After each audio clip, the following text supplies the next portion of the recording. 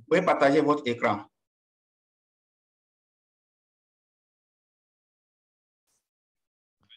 Je suis en ligne, je suis en ligne. Excusez-moi, je suis en ligne, j'ai des problèmes de communication. OK.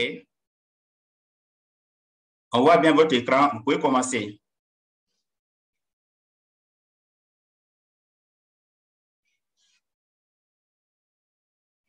Est-ce que Jakadia peut commencer?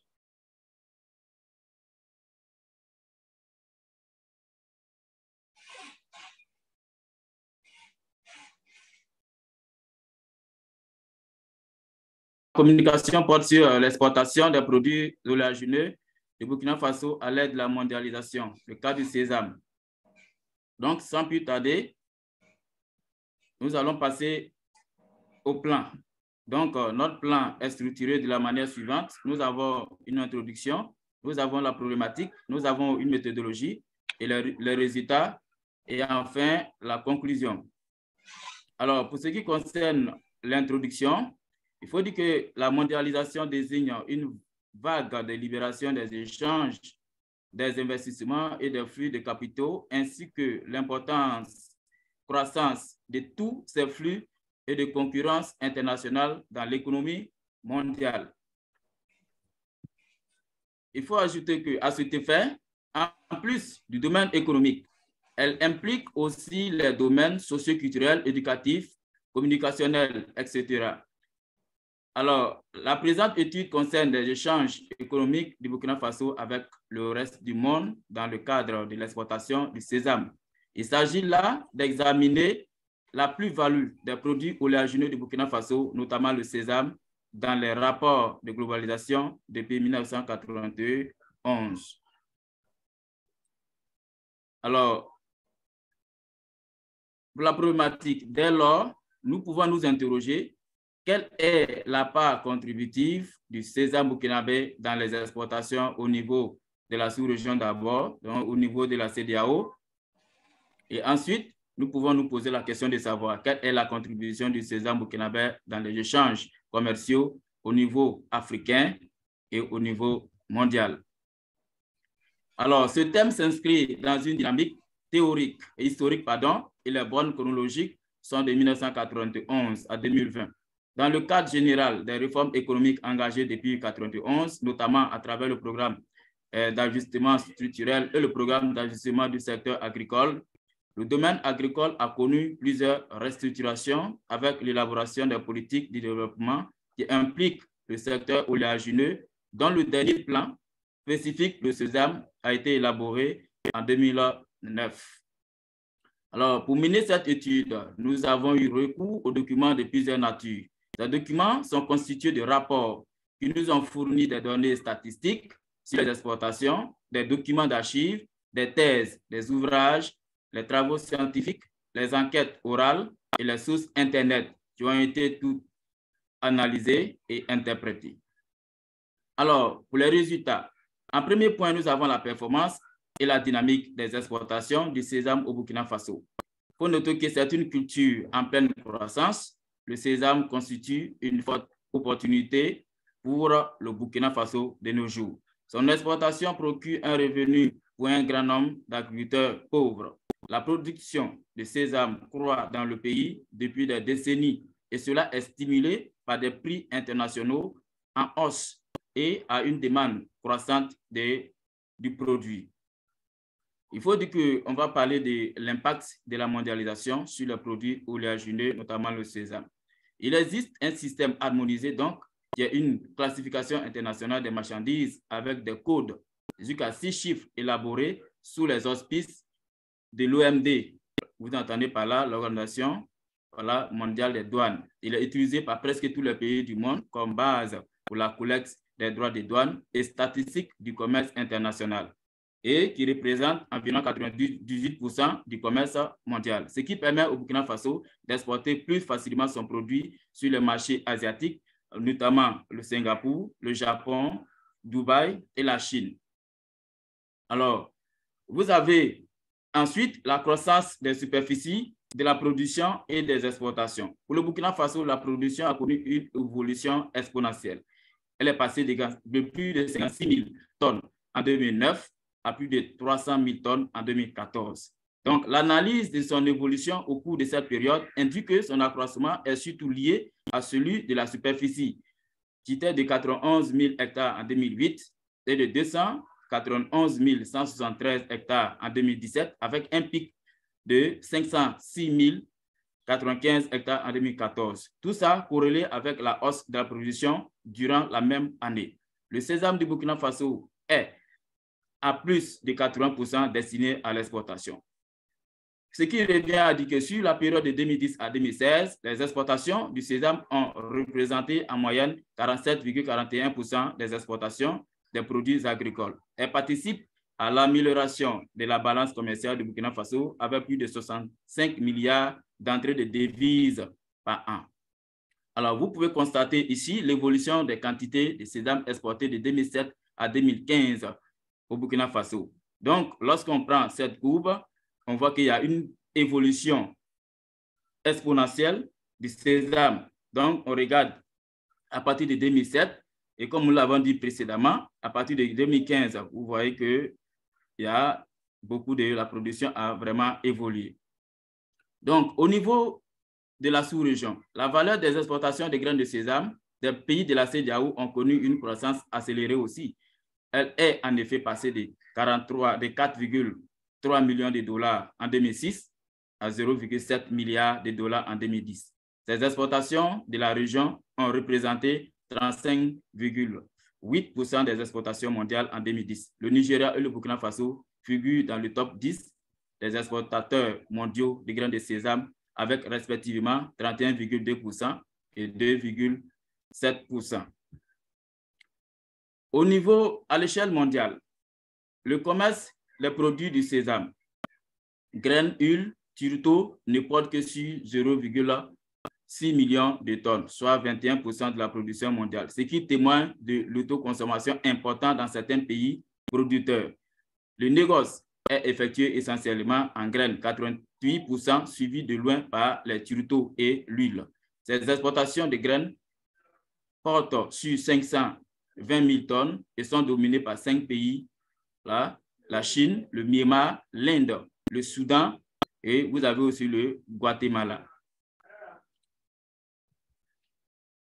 Alors, les exportations et les importations à l'échelle de la mondialisation. Il faut dire que l'Union européenne représente un marché plus étroit avec 52,300 tonnes en 1995, bien qu'en forte progression. Les principaux importateurs dans l'UE sont les Pays-Bas, l'Allemagne, vous avez aussi la Grèce, vous avez aussi l'Union européenne. Les autres marchés sont pratiquement stables. Vous avez les États-Unis, la Corée du Sud, vous avez la Taïwan, le Singapour. Alors, en effet, la mondialisation demeure un outil d'intégration pour tous les pays du monde. Cependant, on recommande que les taxes douanières entre les pays reste, reste un obstacle à, à lever. Donc, pour terminer, nous pouvons dire qu'au Burkina Faso, la quantité de sésame exporté reste importante malgré les efforts de la transformation locale du produit. Avec la globalisation, le sésame burkinabé est exporté vers plusieurs pays asiatiques et européens. Cependant, des contraintes existent sur le marché international. L'intégration des produits du Burkina Faso sur le marché mondial est en effet un rempart pour l'amélioration des revenus ruraux des acteurs de la filière et qui passe par la croissance de l'offre et l'amélioration de la qualité des, produits. Donc, je vous remercie. Merci bien, euh, Monsieur Jakari vous avez fini dans le temps. Merci. Ah, donc, euh, merci, félicitations pour votre présentation. Nous allons passer la parole au communicant 86. Fala Yao est-il en ligne? Oui, mes chers organisateurs, bonsoir. Oui, merci, vous êtes là? Je suis là. OK, vous partagez votre écran. Nous rappelons euh, aux, assistants, aux participants que les questions seront posées à la fin. Merci. Allez-y donc, partagez votre écran. Euh, celui qui a fini de communiquer là, il n'a qu'à désactiver son partage. Ok, est-ce que vous pouvez désactiver votre partage? Oui, c'est fait. Ok, merci. Alors, bonsoir, chers organisateurs. Euh, la thématique que nous avons l'honneur de vous présenter cet après-midi est intitulée Intégration régionale en Afrique de l'Ouest, une réalité dans l'espace transfrontalier sur Togo-Bénin. Euh, comme plan de présentation, nous avons le contexte, la problématique, une méthodologie, les résultats et enfin une conclusion. Comme contexte, euh, le fonctionnement des, des, espaces transfrontaliers ouest-africains est soumis aux logiques institutionnelles, étatiques et régionales, notamment aux réglementations sur la libre circulation de la CDAO et la politique douanière de l'UOMOA. Le débat sur l'intégration en Afrique de l'Ouest est ancien. Ainsi, euh, les passages de Sanvekondi et d'Agomlegoulouzou s'inscrivent dans une dynamique d'échange et de mobilité de personnes. Euh, L'étude que nous menons a été suivie par une problématique dont l'analyse des échanges qui sont des facteurs d'intégration euh, les organismes internationaux et locaux créent un intérêt pour ce phénomène. Alors, les échanges transfrontaliers tiennent des enjeux de développement. Ces enjeux de développement créent des processus d'intégration et aussi des avantages qu'offrent des échanges transfrontaliers. L'objectif visé par cette étude est de mettre en exergue les pratiques en vigueur à l'intérieur de ces espaces frontaliers dans le cadre du, processus d'intégration régionale à travers la libre circulation des biens et des personnes. Alors, la méthodologie adoptée pour ce travail est basée sur euh, une collecte documentaire et des travaux de terrain. Notre espace d'étude se présente entre le Togo et le Bénin, dont trois préfectures au Togo, la préfecture de, des lacs, Bamono et puis Yoto. De l'autre côté de la frontière togolaise, il y a la commune de Grand Popo, à Tchémé et de Lokosa. Spécifiquement, l'espace, euh, la frontière, les deux frontières que nous avons eu à étudier sont la frontière d'Agamoglozu et la frontière de, de Sanvé-Kondi. Les personnes que nous avons eu à interroger sont les riverains, les, les voyageurs et, et, les, le personnel administratif qui gère ces espaces frontaliers. Comme résultat, en ce qui concerne la libre circulation des biens et des personnes, euh, l'espace entre le Togo et le Bénin, notamment Sud, enregistre un accord cadre signé sur la libre circulation des personnes, une union douanière et une, une, monnaie, une monnaie commune. En ce qui concerne la réglementation ou euh, euh, la reconnaissance des tests sur la libre circulation des biens des personnes, nous avons eu à inquiéter euh, certaines personnes sur euh, la connaissance des tests et 61% affirment qu'ils ne connaissent pas des lois de réglementation sur la libre circulation des personnes et des biens dans cet espace sud entre le Togo et le Bénin. Alors, cette méconnaissance des tests entraîne des absorptions qui sont remarquées, très remarquables d'ailleurs sur le terrain dont les, les enquêtés se sont plaints. Il faut noter aussi que cet espace est un espace de, de transaction de marchandises et de passage des flux de personnes. Euh, la, carte, la, la, carte numéro 1 nous montre ici euh, les flux humains enregistrés dans l'espace ouest africain. Euh, cette carte affirme comme, plutôt comme une région de très forte mobilité. Ainsi, l'espace transfrontalier sur Togo-Bénin dans cette dynamique malgré, la, malgré la non-connaissance des tests de, de la libre circulation des personnes et des biens. Alors, quelles sont alors les nationalités et les, les entrées et les sorties de, de, des personnes enregistrées dans cet espace frontalier? Les travaux de terrain ici nous ont permis d'enregistrer les différentes nationalités dont les Togolais et les Béninois représentent la majorité, dont 35%, les Nigériens 18%, les Nigériens, les Nigériens 9% et les Nigériens 18%, et les autres nationalités sont les Européens, les Américains les, et d'autres pays européens. Ici, euh, les entrées et les sorties. Nous avons eu à collecter des données au niveau de la douane, des deux douanes, et nous, ce, qui, nous a permis d'élaborer ce graphique de, les données parcours de 2010 à 2021. Ici, à partir de 2010, on remarque que euh, les, entrées et les sorties ne sont pas trop excessives. Mais par contre, à partir de 2018, 2017 à 2010, on note une augmentation des entrées et des sorties dans ces espaces frontaliers. En 2019, on a enregistré une baisse énorme. Cela est dû à, la COVID-19, dû à la fermeture des frontières et euh, le passage des personnes était carrément interdit, sauf les marchandises et dans les transporteurs qui passaient par ces, ces frontières pour faire traverser les, marchandises dans cet espace. Alors, les travaux de terrain nous ont permis également d'enregistrer euh, les importations et les, exportations entre le Togo et, et, le Bénin. Et donc, ces exportations varient de, de 2010 également à 2021.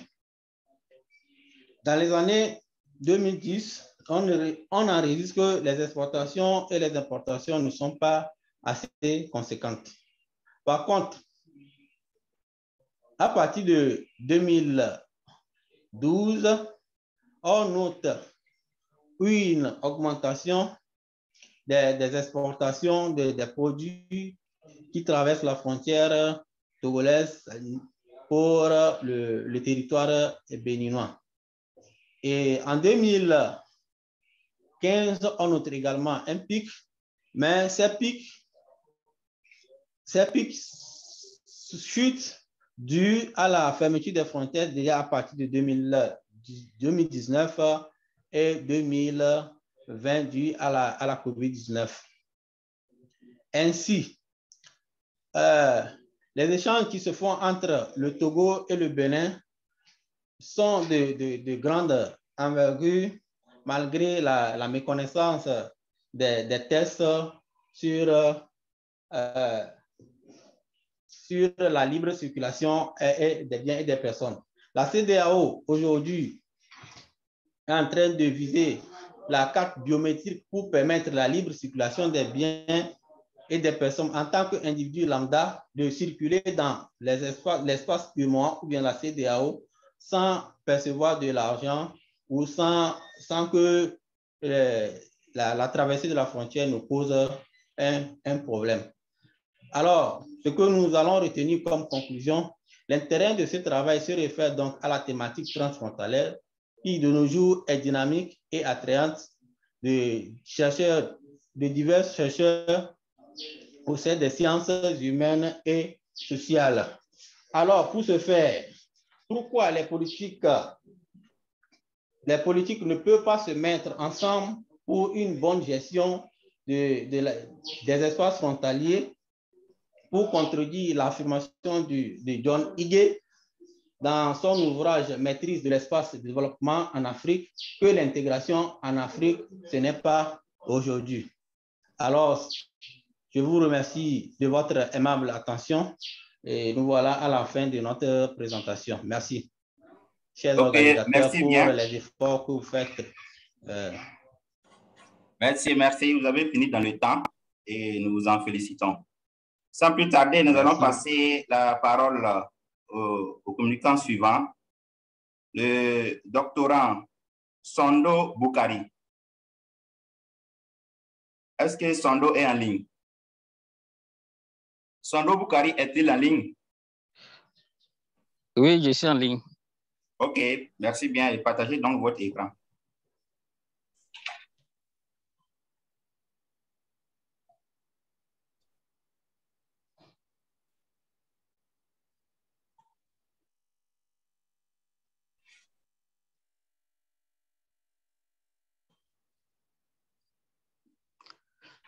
Alors, bonsoir, euh, monsieur le modérateur, bonsoir à tous les panélistes. Donc, moi, c'est Sondo Boukari, euh, doctorant à l'Université Joseph Kizerbo. Euh, mon travail porte sur la coopération scientifique euh, belgo-burkinabé, spécifiquement la contribution de la coopération universitaire belgo-burkinabé au développement de nouveaux axes de formation et de recherche à l'Université de Ouagadougou. Donc, notre communication va s'articuler autour de, euh, quatre points, à savoir l'introduction, les résultats, euh, la discussion et puis la conclusion. Donc, euh, comme contexte, nous pouvons dire que le Burkina Faso, un pays d'Afrique de l'Ouest, est classé comme un pays à développement humain faible selon les chiffres du PNUD. Donc, on remarque que le, le pays a besoin d'assistance technique et financière euh, des pays développés. Également, le pays a souscrit à des engagements internationaux qui l'incitent à la coopération. Euh, quand on prend également au niveau de ces institutions d'enseignement supérieur et de recherche, euh, elles vivent le même problème ou les mêmes problèmes que connaît le pays, à savoir le besoin de main-d'œuvre euh, assez qualifiée, le besoin de euh, matériel, le besoin de, euh, de financement. Quant à la Belgique, pays d'Europe de l'Ouest, est classé comme un pays à développement humain très élevé selon encore les chiffres du PNUD. Et également, c'est un pays qui a souscrit aux conventions et engagements internationaux qui l'oblige en quelque sorte à la coopération. Également, quand on prend pour le cas de la Belgique, on peut dire qu'elle a besoin de, de soft power, donc d'influence géopolitique. Euh, également, spécifiquement euh, dans la coopération euh, au développement de la Belgique, on a un volet axé sur la coopération scientifique. Et au niveau de, ces institutions d'enseignement supérieur et de recherche, on note que ces institutions-là ont une histoire assez longue et ont développé une expertise euh, assez élevée. ces institutions ont également besoin de, connaître les cultures d'autres contrées, les milieux naturels de zones géographiques différentes. Donc, c'est tout ces aspects-là qui expliquent le rapprochement entre les deux entités. Euh, comme objectif, nous nous sommes fixés euh, d'analyser la contribution de la coopération universitaire belgo-burkinabé dans la mise en place de nouveaux axes de formation et de recherche à l'université de Ouagadougou. Comme objectif spécifique, euh, c'est de présenter les nouveaux axes de formation et de recherche mis en place à l'université de Ouagadougou à travers la coopération universitaire belgo-burkinabé, d'analyser l'impact des nouvelles formations et spécialisations sur l'université de Ouagadougou.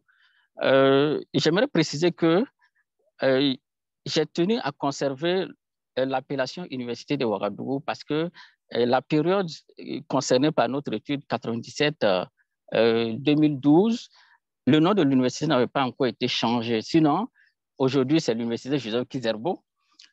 mais aussi, cette coopération que nous étudions là concernait les deux universités, à savoir l'université de Ouagadougou, euh, aujourd'hui l'université Joseph Kizerbo et l'université Thomas Sankara, puisque c'est en 2007 que ces deux, universités-là ont été, disons, l'université de Ouagadougou a été scindée pour donner les deux universités, à savoir l'université Joseph Kizerbo et l'université Thomas Sankara. Et donc, euh, ce que nous étudions ici concerne les deux universités, parce que la coopération les a concernées toutes Donc, comme méthodologie, nous avons consulté les rapports d'activité de cette coopération-là de 1997 à 2012. Également, nous avons consulté les archives de la direction locale qui est au sein de l'Université de Kizerbo. Aussi, nous avons consulté la littérature, la littérature pardon, existante sur la question, notamment les articles. J'ai trouvé quelques articles sur euh, cette coopération-là. Euh, également, nous avons visité des sites euh, où il y avait des réalisations concernant cette coopération. Comme résultat, nous remarquons que beaucoup de formations ont été réalisées dans le cadre de cette coopération, de la coopération belgo-burkinabé qui s'est fait à travers le, le c'est-à-dire le Conseil interuniversitaire francophone de Belgique, qui lui aussi a changé de nom. Aujourd'hui, c'est l'ARES, qui est l'Académie de recherche et d'enseignement supérieur. Donc, euh, comme premier élément, comme première formation, nous pouvons noter la formation d'EDA, euh, qui est la formation éducation des adultes et développement, initiée depuis 1999. Euh, donc, cette formation est destinée aux professionnels du terrain et autres. Également, nous avons le projet pluridisciplinaire. C'est un projet de recherche en sciences humaines qui incite à la pluridisciplinarité. Donc, dans ce cadre-là, il y a beaucoup d'étudiants et d'enseignants qui ont été formés euh, dans ce projet. Également, nous avons le projet euh, FIRDES qui a été initié depuis le début de la coopération, c'est-à-dire en 1998, euh, qui a abouti à la mise en place de certaines formations comme des modules qui ont été intégrés en réalité dans le cursus au niveau euh, de l'UFR Sciences économiques et de gestion à partir de 2006. Également, nous avons la formation en entrepreneuriat qui a été initiée. La formation en pédagogie, la formation en pédagogie a été initiée depuis 1999 également, mais c'était axé d'abord sur euh, les élèves fonctionnaires et c'était en partenariat avec euh, l'école normale supérieure qui est aujourd'hui à Kourou. Et après, durant le troisième programme quinquennal, c'est-à-dire 2008-2012, euh, le programme a axé la formation de la pédagogie sur les enseignants-chercheurs. Également, nous avons la formation au, niveau de, euh, des sciences physiques et chimie, euh, où il y a eu l'initiation de la formation en énergie solaire qui a instauré des diplômes comme le DUT, le DEA, le master, la thèse plus tard.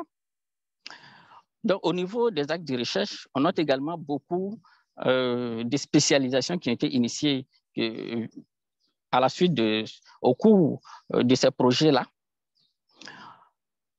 On a l'exemple d'abord des, troisième cycles et même on peut intégrer les, les, les seconds cycles, même si là-bas c'est encore moindre. Mais au niveau des troisième cycles, presque tous les départements de l'université de Ouagadougou ont bénéficié de l'accompagnement de, de, la Belgique pour la mise en place du, euh, de la thèse, donc du troisième cycle. Également, euh, il y a l'Institut de développement rural qui est aujourd'hui euh, rattaché, qui est rattaché depuis 1999-2000 à l'Université de Bobo du mais cet institut-là était au sein de l'Université de Ouagadougou. Donc, c'est un institut qui a bénéficié d'un accompagnement, la mise en place du DEA, également de la thèse. En SVT et en, SEA, euh, sciences exactes et appliquées et sciences de la vie et de la terre, il y a eu beaucoup de pôles de formation qui ont été initiés grâce à cette euh, collaboration avec la Belgique. Euh, c'est la même chose concernant l'UFR, SDS, sciences de la santé, où des formations comme la santé publique, nutrition et maladies émergentes ont été initiées également, les DEA en sciences pharmaceutiques.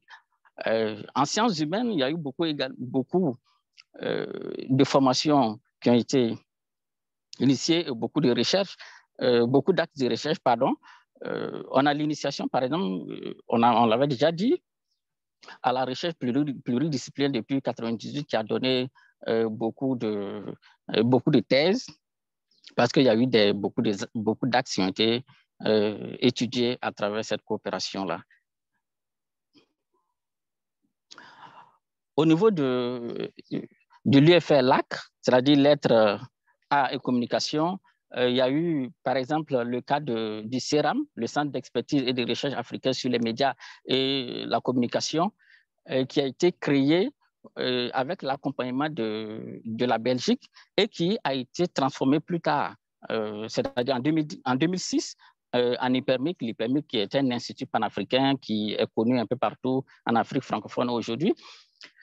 Euh, quand on prend l'UFR, SEG, il y a eu également euh, l'initiation de la formation en, économie euh, solidaire qui a initié des formations, notamment l'instauration d'un DEA, le, DSS, la thèse. Également, il y a eu des études de, de grande envergure avec une équipe composée de Belges, de Burkinabé et de certains professeurs de la sous-région qui ont étudié ou qui ont euh, établi des données sur les entreprises euh, d'économie sociale au Burkina Faso.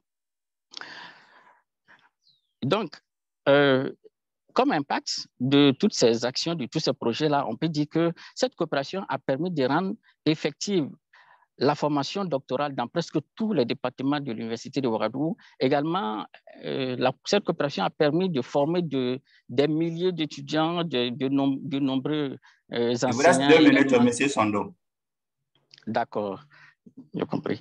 Euh, également, euh, elle a permis de professionnaliser beaucoup de, beaucoup de formations, initier la formation en, entrepreneuriat qui n'existait pas au sein de l'université de Ouagadougou, mais qui, aujourd'hui est, une, je vais dire, est une formation qui continue largement.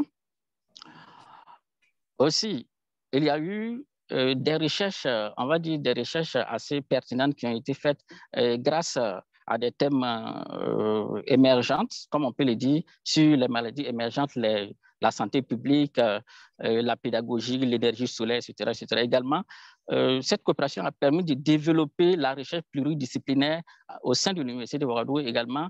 Euh, elle a dynamisé la recherche au sein de l'université, euh, renforcé l'interaction entre l'université et la société civile, également développer la coopération sur-site parce que cette coopération-là permet de développer certaines, certaines coopérations entre l'Université Joseph Kizerbo, des, des, universités au Mali, au Togo, au Bénin et au Congo, etc., etc. Donc, comme conclusion, nous pouvons dire que la coopération belgo-burkinabé est née d'une convergence de besoins et de volontés des deux partenaires. Elle a permis de réaliser beaucoup de projets, notamment dans plusieurs euh, euh, nouvelles formations et spécialisations. Et depuis 2012, cette coopération connaît des difficultés où euh, les interventions étaient un peu en déclin. Il a fallu attendre encore en 2022 pour que cette coopération soit redynamisée. Donc, nous sommes à la fin de notre exposé. Merci. la suite pour la question. OK, merci bien, M. Sando. Vous avez dépassé d'une minute, ce n'est pas grave. Nous en félicitons. Et sans plus tarder, nous allons passer la parole euh, à l'assistant Akadje Abi Emmanuel. Est-ce qu'il est en ligne? Et Monsieur Sando, est-ce que vous pouvez arrêter votre partage d'écran? Voilà, merci. Est-ce que Akadje est en ligne? Akadje est en ligne? D'accord. Visiblement, Akadji n'est pas en ligne. Nous passons à la communication 89. Au maître de recherche, M. Oudrago Lucien. Est-ce que vous êtes là?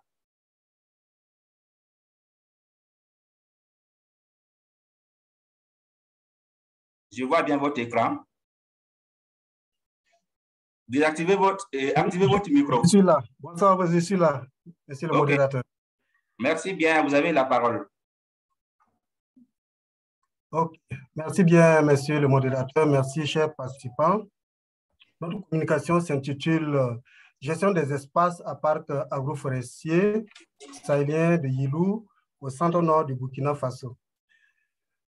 Et comme plan, nous avons une introduction, une démarche méthodologique et des résultats, une discussion et puis une conclusion pour euh, finir.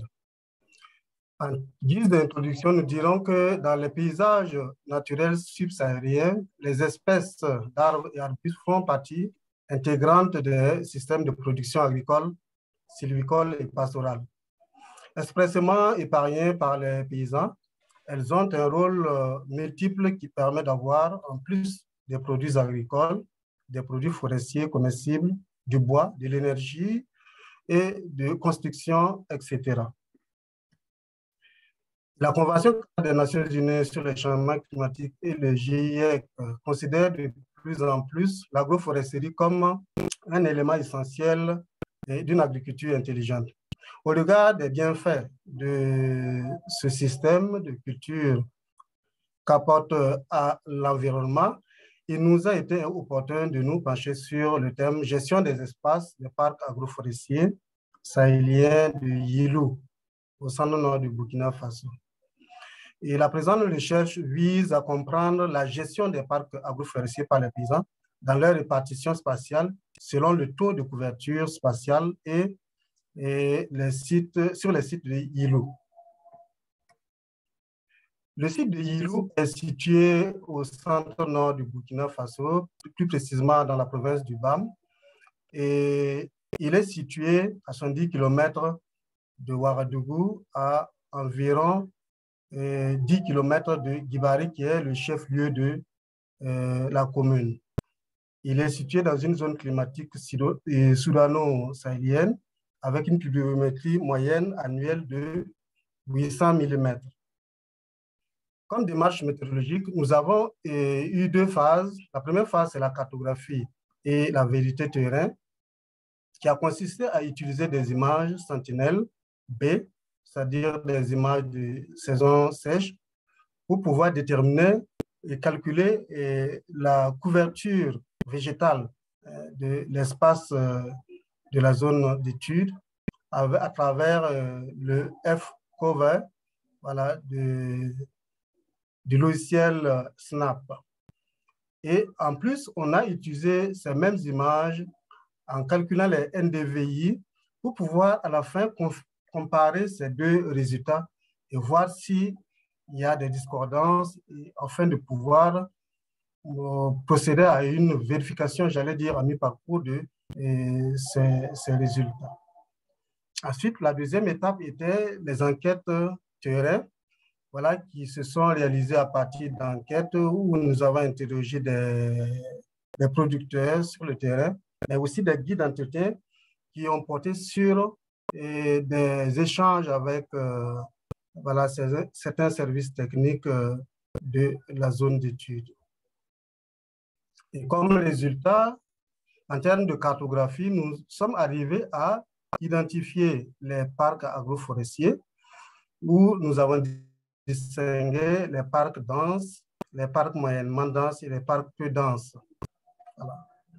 Et en termes de proportion, on a remarqué que les parcs moyennement denses étaient les plus importants, avec environ 15% de euh, représentation. Et les autres, euh, c'est-à-dire les parcs peu denses et les parcs denses, occupaient le reste du pourcentage. Étant à la fois des usagers, des gestionnaires et des conservateurs, les paysans ont développé des techniques locales de gestion des parcs dans la zone d'étude. Nous pouvons citer, entre autres, ce qui est ressorti des enquêtes, la régénération naturelle assistée, qui consiste à épargner certaines espèces euh, dans les champs de culture, ici, nous voyons euh, deux espèces qui sont épargnées, c'est-à-dire le c'est-à-dire reticulatum et l'Anea microcarpa. Il y a aussi la plantation des arbres, notamment dans la plupart des cas, euh, la plantation des eucalyptus dans certains parcs pour le renforcement justement de ces parcs voilà, qui sont souvent des parcs à vitellaria paradoxal, parce que c'est c'est une zone où la végétation est vraiment un peu rare. Donc, euh, même dans les parcs, euh, on trouve que c'est vraiment voilà, très éparse. Donc, dans certains cas, on assiste à des plantations pour renforcer ces parcs agroforestiers. Il y a aussi l'élégage, l'agage voilà, des plants pour euh, leur donner beaucoup plus de, de vitalité en termes de, voilà, de survie. Voilà. Et ici, nous avons un exemple de Cassia siberiana qui a été coupé pour lui permettre de se développer beaucoup plus euh, voilà, rapidement. Ensuite, euh, il y a le parcage. Voilà, le parcage, c'est-à-dire euh, on amène le bétail dans les parcs juste après les récoltes qui profitent des résidus de récolte. En même temps, ils enrichissent les sols des parcs. Et comme proportion d'utilisation de ces différentes techniques, nous avons la RNA qui représente environ 37%, la plantation 26%, l'élagage 15% et 20% pour le parcage des animaux. Qu'est-ce que nous pouvons dire? Nous dirons que les résultats de la cartographie relève, révèlent que les parcs agroforestiers à Yilou ont une répartition hétérogène, certains endroits ayant une forte densité par rapport à d'autres. Mais dans l'ensemble, la densité reste moyenne. Et ces résultats sont attestés ou, corroborent les, travaux de Colli et Hall et ceux de Hanan 2012. Les bonnes pratiques agricoles et sylvicoles contribuent à une meilleure gestion des ressources naturelles. À Yilou, elles se définissent comme étant des pratiques qui permettent de satisfaire les besoins actuels en améliorant les moyens d'existence tout en protégeant l'environnement de façon durable et attesté par les études de de 2012. Comme dans l'ensemble des zones semi-arides africaines, à Yilou, les cultivateurs ont depuis longtemps défriché les savanes arborées pour les mettre en culture. Par la suite, ils ont parfois enrichi ce système agroforestier en introduisant de nouvelles espèces ou en conservant une partie de la régénération naturelle. Selon Inondo et al., la régénération naturelle assistée est une pratique biophysique qui permet la réduction des risques de catastrophes et l'atténuation du changement climatique. La plantation à Yilou, elle représente 26% environ et corrobore les travaux de Diouf de, de 2000 qui révèlent que les pépinières voilà, des communautés occupent 28% de la production des plantes globales. L'élagage plutôt est peu pratiqué par les producteurs, car tout simplement, c'est une pratique qui est beaucoup plus euh, orientée vers les agents forestiers, donc un peu moins par les producteurs. En conclusion, nous dirons que les résultats de traitement cartographique ont servi à spatialiser les éléments qui structurent l'environnement du site d'étude et à connaître leur répartition spatiale. L'analyse croisée du FCOVER et du NDV a été indispensable pour pouvoir établir la typologie des parcs agroforestiers selon le taux de recouvrement de la végétation. Dans l'ensemble, la densité des parcs est faible. D'après les résultats de l'enquête, cette faible densité est liée à la coupe abusive du bois, au surpâturage, à la forte mortalité des arbres due au vieillissement, aux attaques des parasites, mais aussi aux conditions climatiques souvent très difficiles. Voilà un peu l'économie de notre communication. Nous vous remercions pour votre attention et nous restons disponibles pour répondre aux questions éventuelles et recueillir aussi vos contributions. Merci, monsieur Merci le bien, euh, docteur. Vous avez été juste dans le temps et nous vous en remercions. Alors, donc, nous passons à la communication suivante, celle de, du doctorant Randriama, Randriama Alex. Je m'excuse euh, pour euh, oui, oui, votre nom. Est-ce que vous êtes en ligne? Oui, oui, je suis en ligne. Je, Euh, euh, vous me recevez? bien. Oui. D'accord. Euh, je vais tout de suite commencer.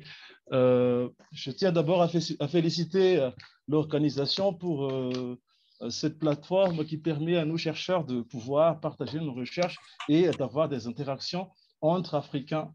Et donc, je ne vais plus me tarder. je vais tout de suite me lancer dans le vif du sujet.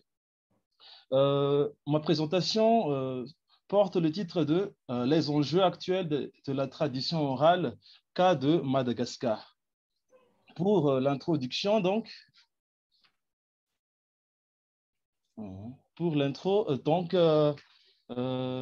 ce constat, est-ce que vous me recevez? Oui, je vous, nous, on vous reçoit. Allez-y. Est-ce que vous voyez le slide? Oui. ce, cette présentation donc est partie euh, d'une question contextuelle et qui nous a motivé donc euh, le choix du thème, c'est-à-dire le constat d'une mutation inéluctable concernant la tradition orale à Madagascar. il y a aussi cette profusion d'accusations à l'encontre des chercheurs de négliger euh, les traditions orales dans leurs travaux et le constat de changement de sources d'information chez les tenants des traditions orales. Et puis finalement, il y a le dynamisme socioculturel lié à la mondialisation. Donc pour ce travail, on a choisi trois points problématiques. Euh, euh, la première, c'est le premier, c'est euh, que représente la tradition orale dans la société malgache actuelle? Comment s'adapte-t-elle vis-à-vis du dynamisme socioculturel? Et pour le dernier point, c'est que quel comportement les malgaches adopte-t-il face à cette circonstance? Pour ce travail, nous avons appliqué euh, une méthodologie à travers des approches analytiques. On a aussi fait des dépouillements aux archives royales à Madagascar dans l'inventaire numéro 80, la lecture des ouvrages théoriques sur les traditions orales, les lectures des ouvrages et articles sur l'histoire de Madagascar et l'Afrique en général.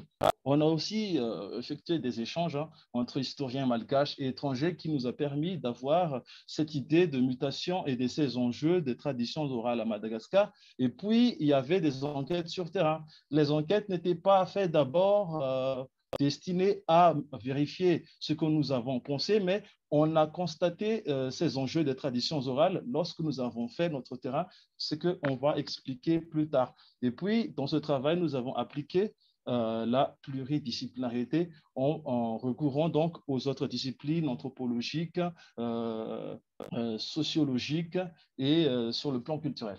Pour ce travail, donc, euh, parce que j'ai appliqué une démarche analytique, le plan donc va se diviser en trois parties qui sera le même aussi dans l'article. La première, c'est que la caractéristique de la tradition orale à Madagascar. En deuxième lieu, l'amalgame écrit oral, nouvelle construction ou déconstruction de la tradition orale. Et pour le dernier point, c'est l'usage actuel de la tradition orale. Pour la première partie, on va donc s'attaquer sur la caractéristique des traditions orales à Madagascar et on va insister sur le rôle identitaire parce que cette tradition orale se résume par le mot tantar en malgache qui se traduit approximativement par histoire en français. Il s'agit d'un système de préservation et de transmission de l'histoire et de mode de vie et là-dedans il y a donc les us et coutumes et les mémoires. C'est aussi une institution rattachée à une fonction royale avant l'arrivée de l'écrit au 19e siècle à Madagascar. Et même euh, euh, au cours du 19e siècle et pendant la période coloniale, certaines sociétés qui sont encore dans une euh, sorte d'organisation traditionnelle ont encore institué ce tradition orale donc comme une fonction royale. Et aujourd'hui, c'est plutôt identifiable dans les milieux ruraux qu'on constate encore la préservation des traditions orales.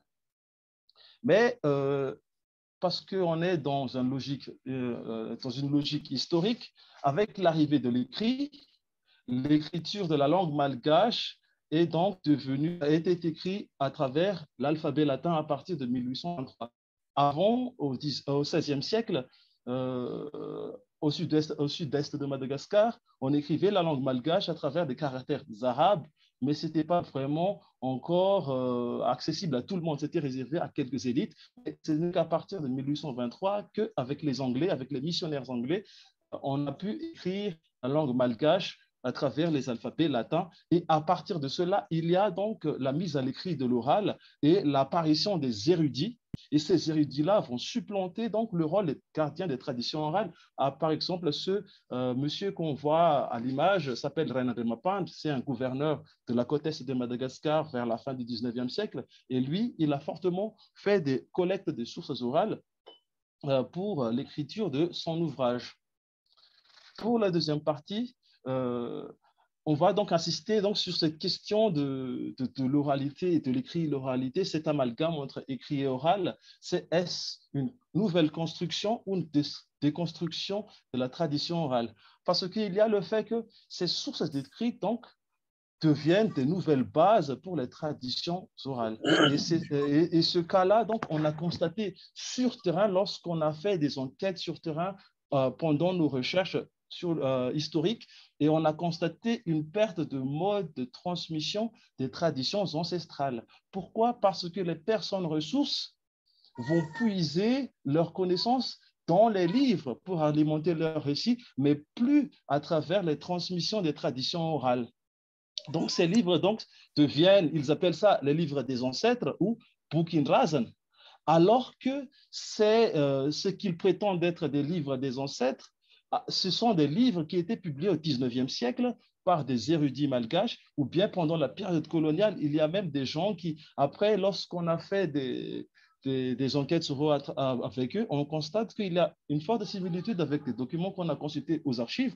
Et à la fin des enquêtes, ils sortent du bas de leur lit des, ou de leur coffre une sorte de, livre qui date de la période coloniale ou écrit par des administrateurs coloniaux.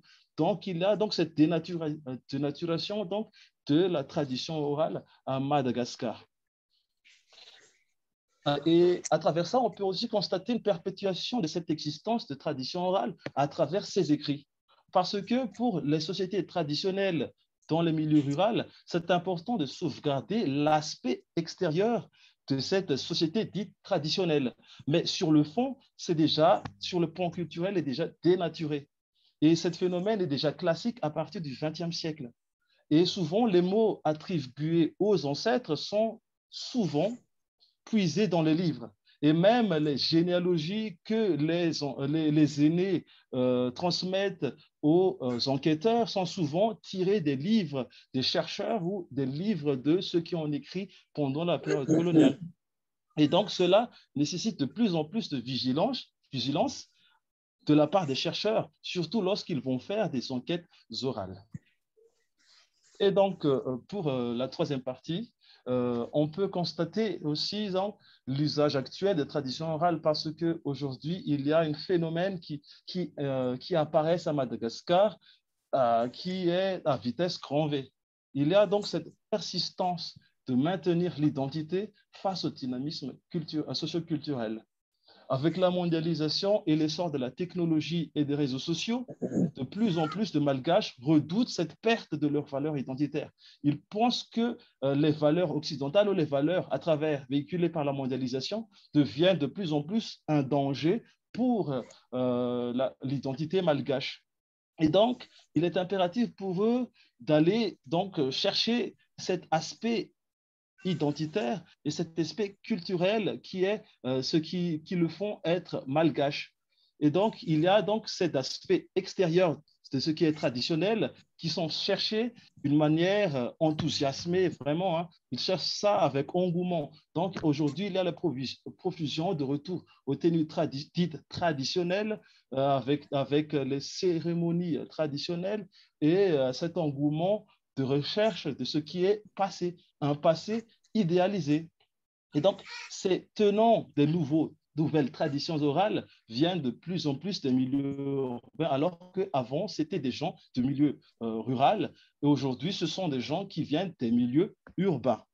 Et ils sont de plus en plus actifs sur les réseaux sociaux comme Facebook surtout et euh, à la télévision. Et ce qui est vraiment maintenant, on peut constater avec cet engouement grandissant, c'est que Madagascar. Il vous reste euh, une minute en, gros. Oui, oui, oui, oui. oui. Euh, donc là, on est au seuil du révisionnisme parce qu'il y a cette recherche d'un passé considéré comme perdu et caché. et à une réinvention d'un roman national véhiculant l'unité d'un peuple malgache avant l'arrivée du christianisme et de la colonisation. Et ces arguments s'appuient surtout sur le fait de la sacralité des transmissions orales et des rejets des recherches scientifiques considérées comme au service de l'ancien pays colonisateur. Donc, en conclusion, nous pouvons dire que la tradition orale fait partie intégrante de l'identité malgache, mais que la mutation qu'elle subit rencontre, euh, résulte de euh, rencontres culturelles et l'évolution des contextes historiques à Madagascar. En réaction à la mondialisation, il y a des remous autour de la tradition orale qui gagne de plus en plus de terrain donc, et qui rejette de plus en plus les recherches scientifiques. Et donc, euh, c'est ainsi qu'il y a le courant révisionnisme qui se construit et ce qui est le reflet de la pauvreté et des crises identitaires à Madagascar. Et je pense même aujourd'hui qu'il y a aussi ce même cas dans l'Afrique subsaharienne. Et donc, sur ce, je vous remercie euh, pour votre intention. Euh, merci, chers modérateurs et chers collègues. OK, merci bien. Vous avez fait un effort pour être dans le temps et nous vous en remercions. Alors, donc, nous passons la parole euh, au communicant 90A. 90A, il s'agit du docteur Chanyao Akimou. Est-ce que le docteur Chanyao est en ligne? Ouvrez votre micro.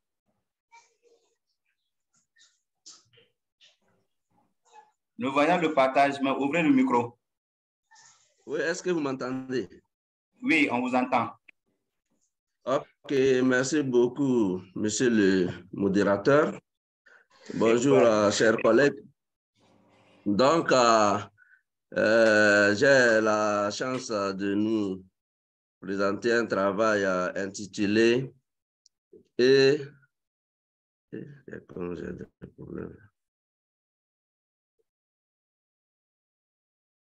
Oui, la rotation du pouvoir, une alternative contre les crises sociopolitiques en Afrique. Donc, je dois préciser que la présentation est tirée d'un ouvrage et si l'Afrique a accepté d'être un modèle de démocratie inclusive que nous avons publié chez, chez les éditions IFOA en 2021.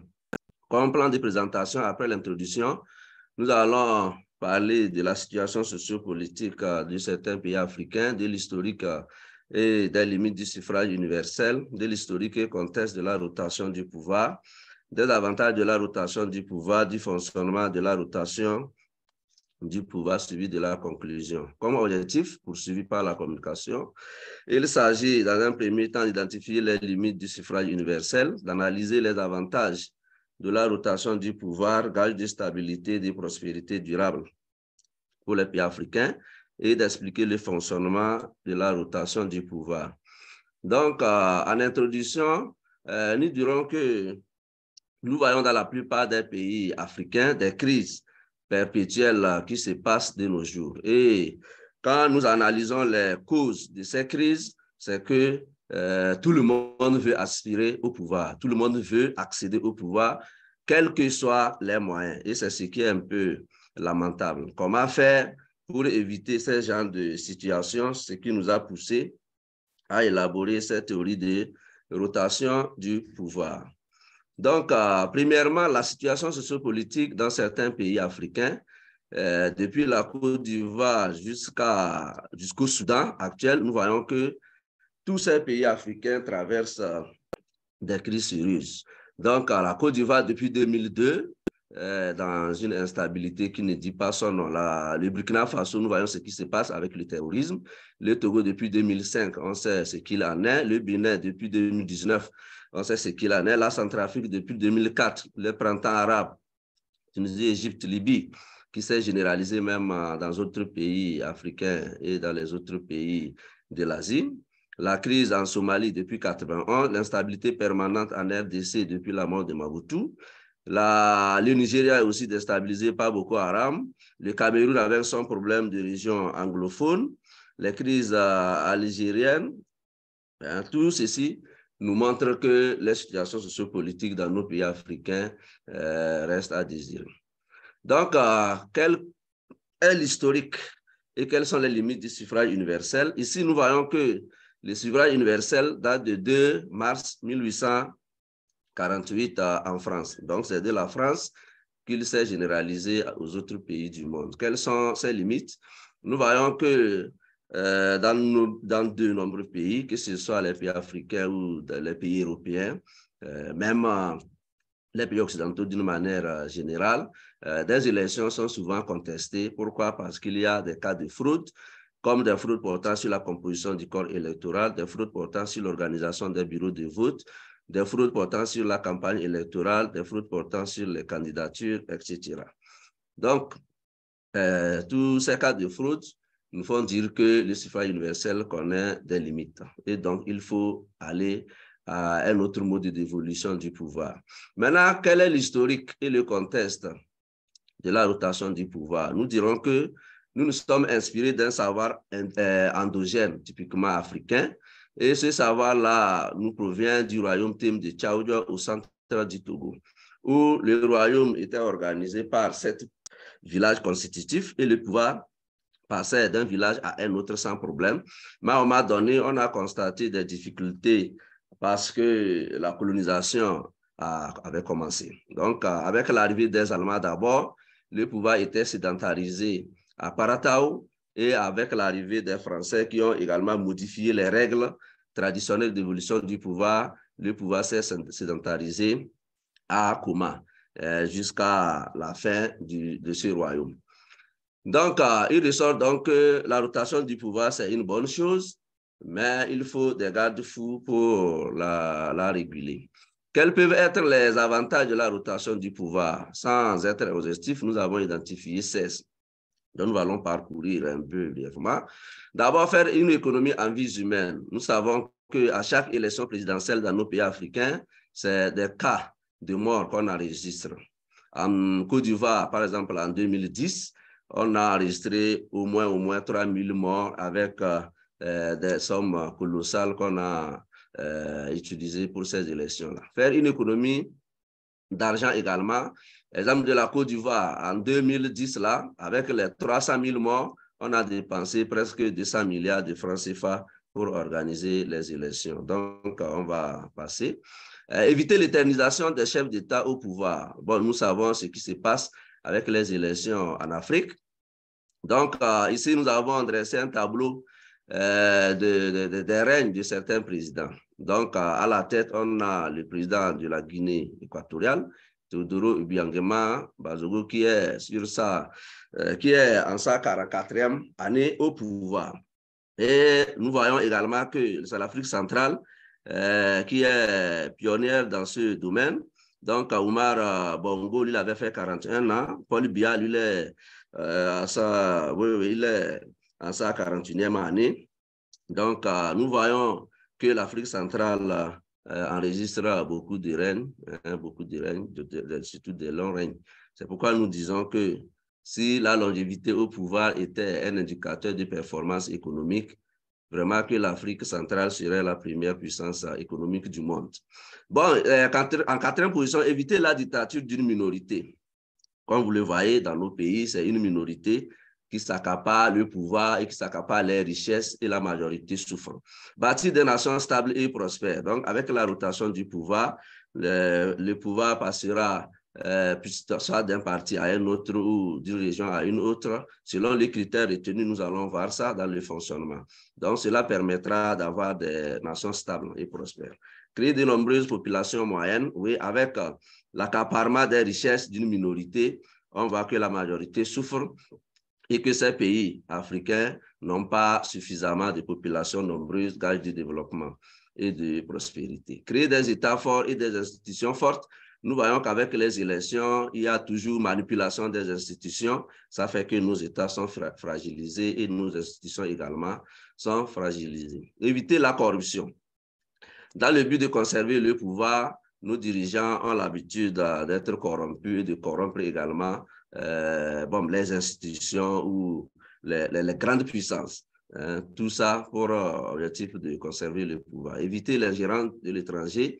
Dans les choix politiques, on a tendance à dire en Afrique que les, les, les populations élisent leurs dirigeants, mais c'est les grandes puissances qui choisissent. Et c'est les choix des grandes puissances qui priment sur, les élections des populations, renforcer la cohésion sociale et le vivre ensemble. Donc, euh, nous sommes sans savoir que dans nos pays, nous sommes fragilisés jusqu'à ce que même certains dirigeants politiques disent que chaque dirigeant a sa population, alors que quand on est élu, on est élu par une partie de la population, mais on doit gouverner au nom de l'intérêt général. Favoriser l'alternance pacifique au pouvoir. Avec la rotation du pouvoir, on va éviter beaucoup, beaucoup, beaucoup de coups d'État. Comme le dit Alfred Babo, euh, pourquoi organiser une élection dont le processus est de toute façon remis en cause et ne débouche que rarement sur l'alternance, mais plutôt sur des violences et des morts? Disposer d'une armée ou bien des armées plus républicaines. Nous savons les fossés qui existent entre les, civils et les armées dans nos pays. Donc, euh, c'est une histoire qu'on peut éviter avec la rotation du pouvoir. Disposer d'une justice véritablement impartiale. Nous savons également que dans nos pays, dans la plupart des pays africains, la justice et toute l'armée sont à la solde des dirigeants et contre les opposants et les minorités. Donc, avoir la rotation du pouvoir, est un moyen pour avoir des armées plus républicaines. Éviter les coups d'État, bon, ici, nous avons l'essentiel, c'est un nombre de coups d'État. Donc, avec la rotation également, on va éviter ces coups d'État-là. Voyez-vous ce qui se passe actuellement au Soudan avec des coups d'État répétés. Donc, euh, favoriser l'inclusion politique ou la démocratie inclusive. Nous disons qu'avec la démocratie telle que nous la vivons de nos jours, c'est de l'exclusion de la majorité de la population, puisque c'est les mêmes personnes, les mêmes individus qui sont à la tête des pays et qui s'accaparent de leurs richesses. Éviter les rébellions armées et les soulèvements populaires. Quand nous voyons tout ce qui se passe dans nos pays, tout ça là, c'est à cause des inégalités qui se creusent, à cause de l'injustice sociale également, contre euh, certaines populations. Maintenant, comment doit fonctionner la rotation du pouvoir? Donc, nous sommes partis. Oui, nous sommes partis sur un principe simple. Oui. Donc, la rotation du pouvoir doit se baser sur un critère inclusif dans tout pays.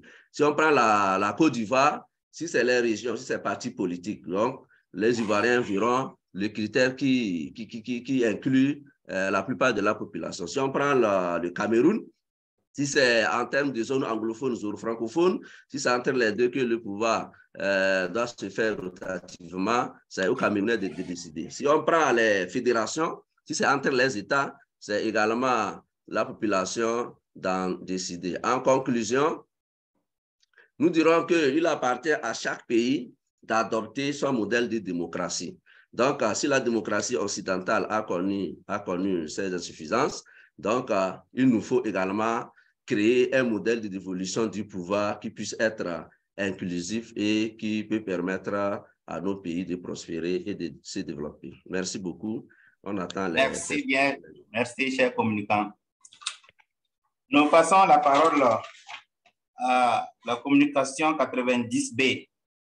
Le doctorant Kanza El Akla. Est-ce qu'il est en ligne? Kanza est-il en ligne? Est-ce que le doctorant Kanza El Akla est en ligne? Euh, visiblement, il n'est pas en ligne. Nous passons à la communication 90C. Docteur Armand Joseph Eddy. Est-ce que Docteur Eddy est en ligne? Armand Joseph est en ligne. Merci. Ouvrez votre micro et commencez. Oui, ouvrez votre micro.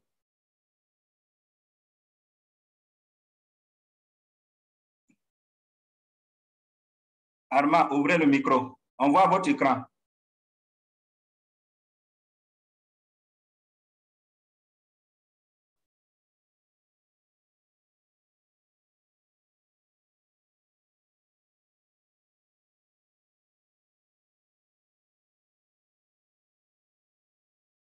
Est-ce que Armand s'en sort?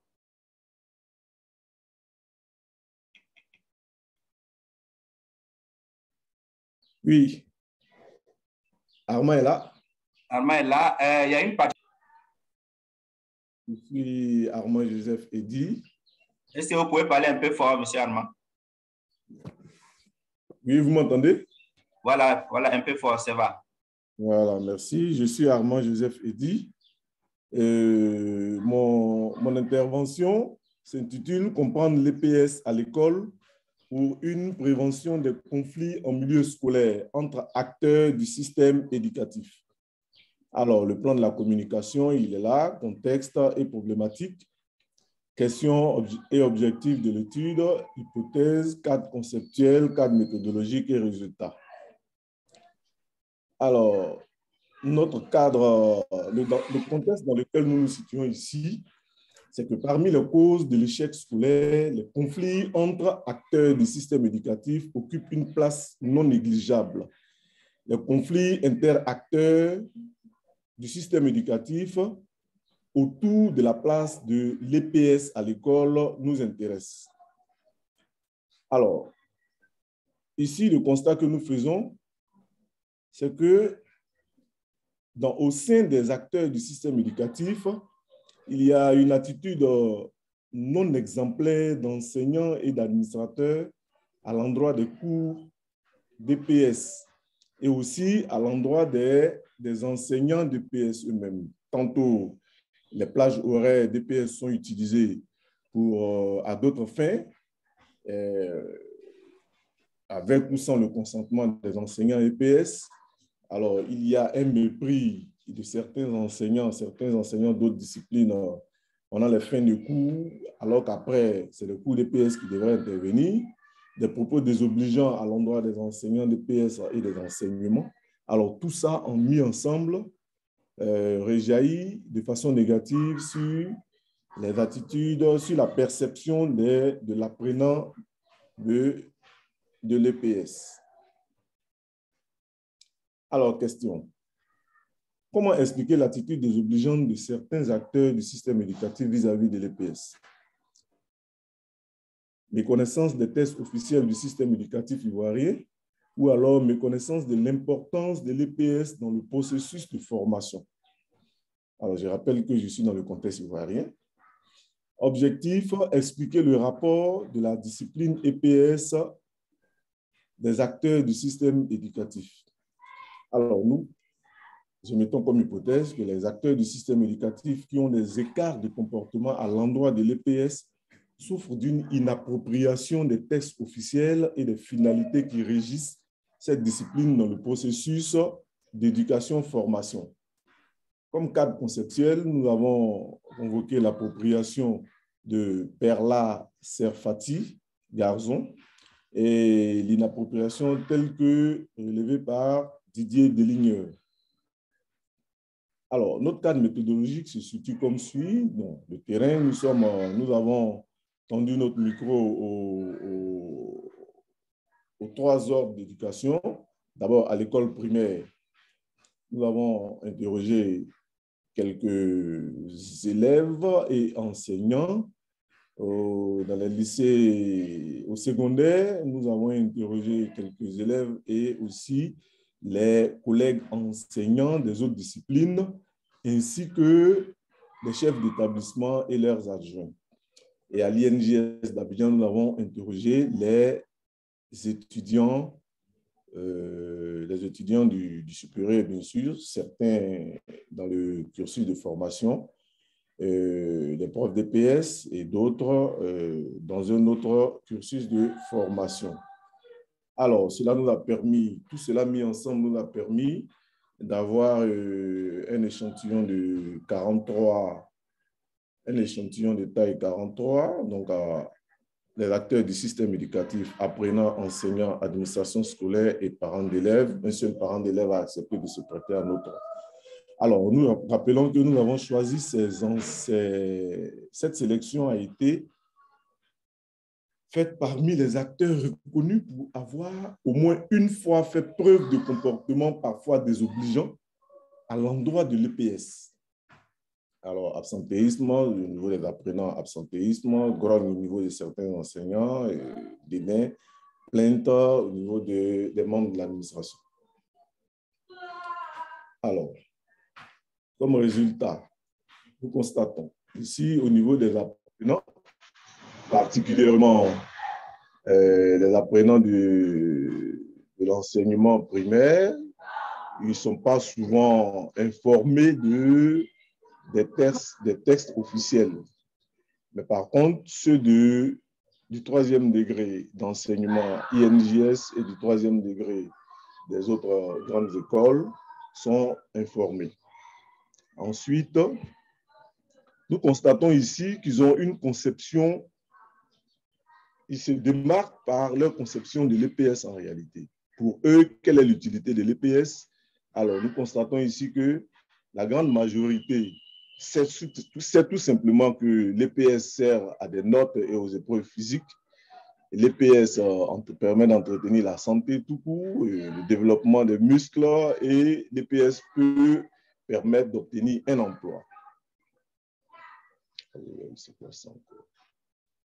Alors, ensuite, nous, nous sommes les résultats au niveau des, des enseignants, au niveau de, des enseignants d'EPS.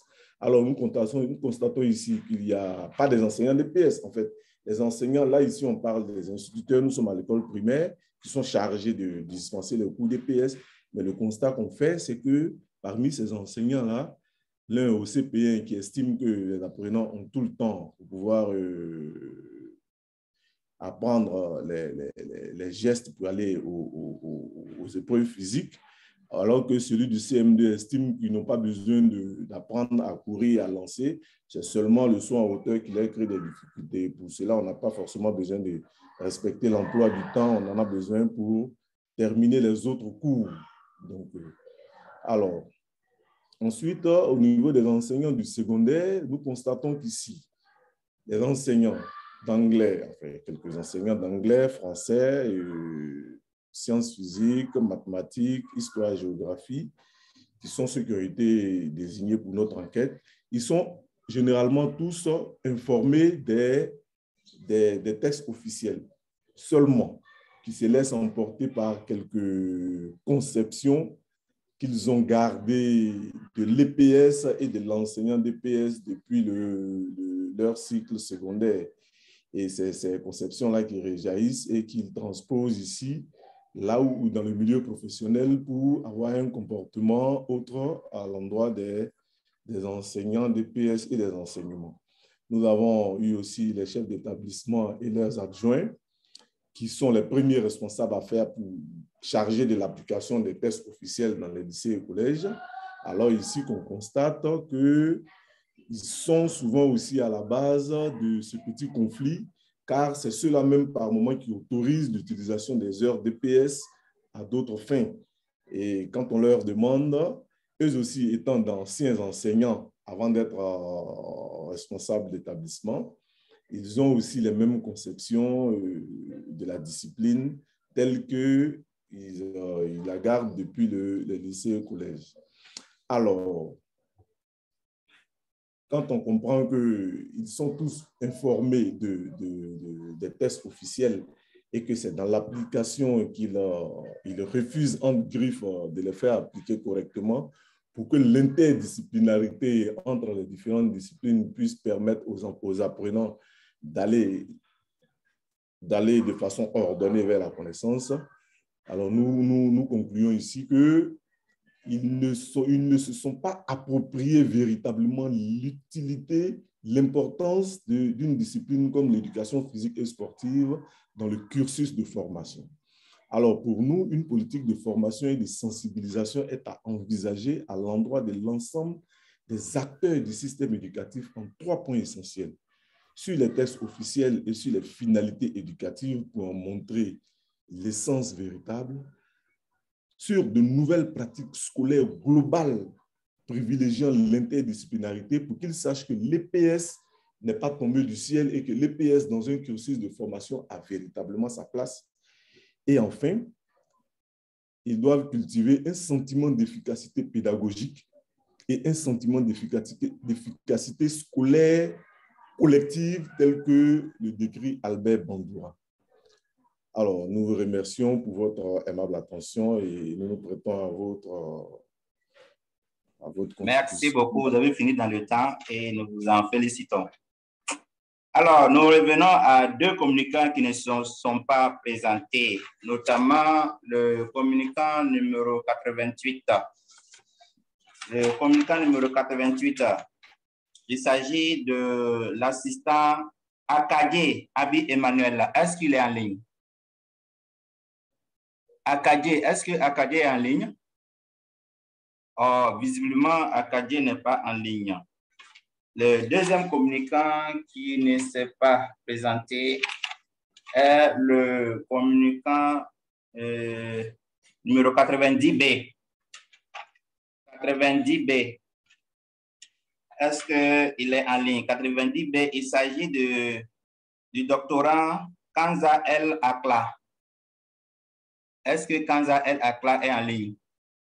Ah, visiblement, lui non plus. OK, donc, euh, chers communicants, euh, chers communautés et comités d'organisation, nous voilà donc euh, au terme de cette première phase qui était donc la présentation. Nous allons passer à la deuxième phase qui est celle des questions. Alors, il s'agit donc de poser les questions et chaque communicant sera attentif aux questions à lui adresser. Et ensuite, nous procéderons à, à la phase des réponses.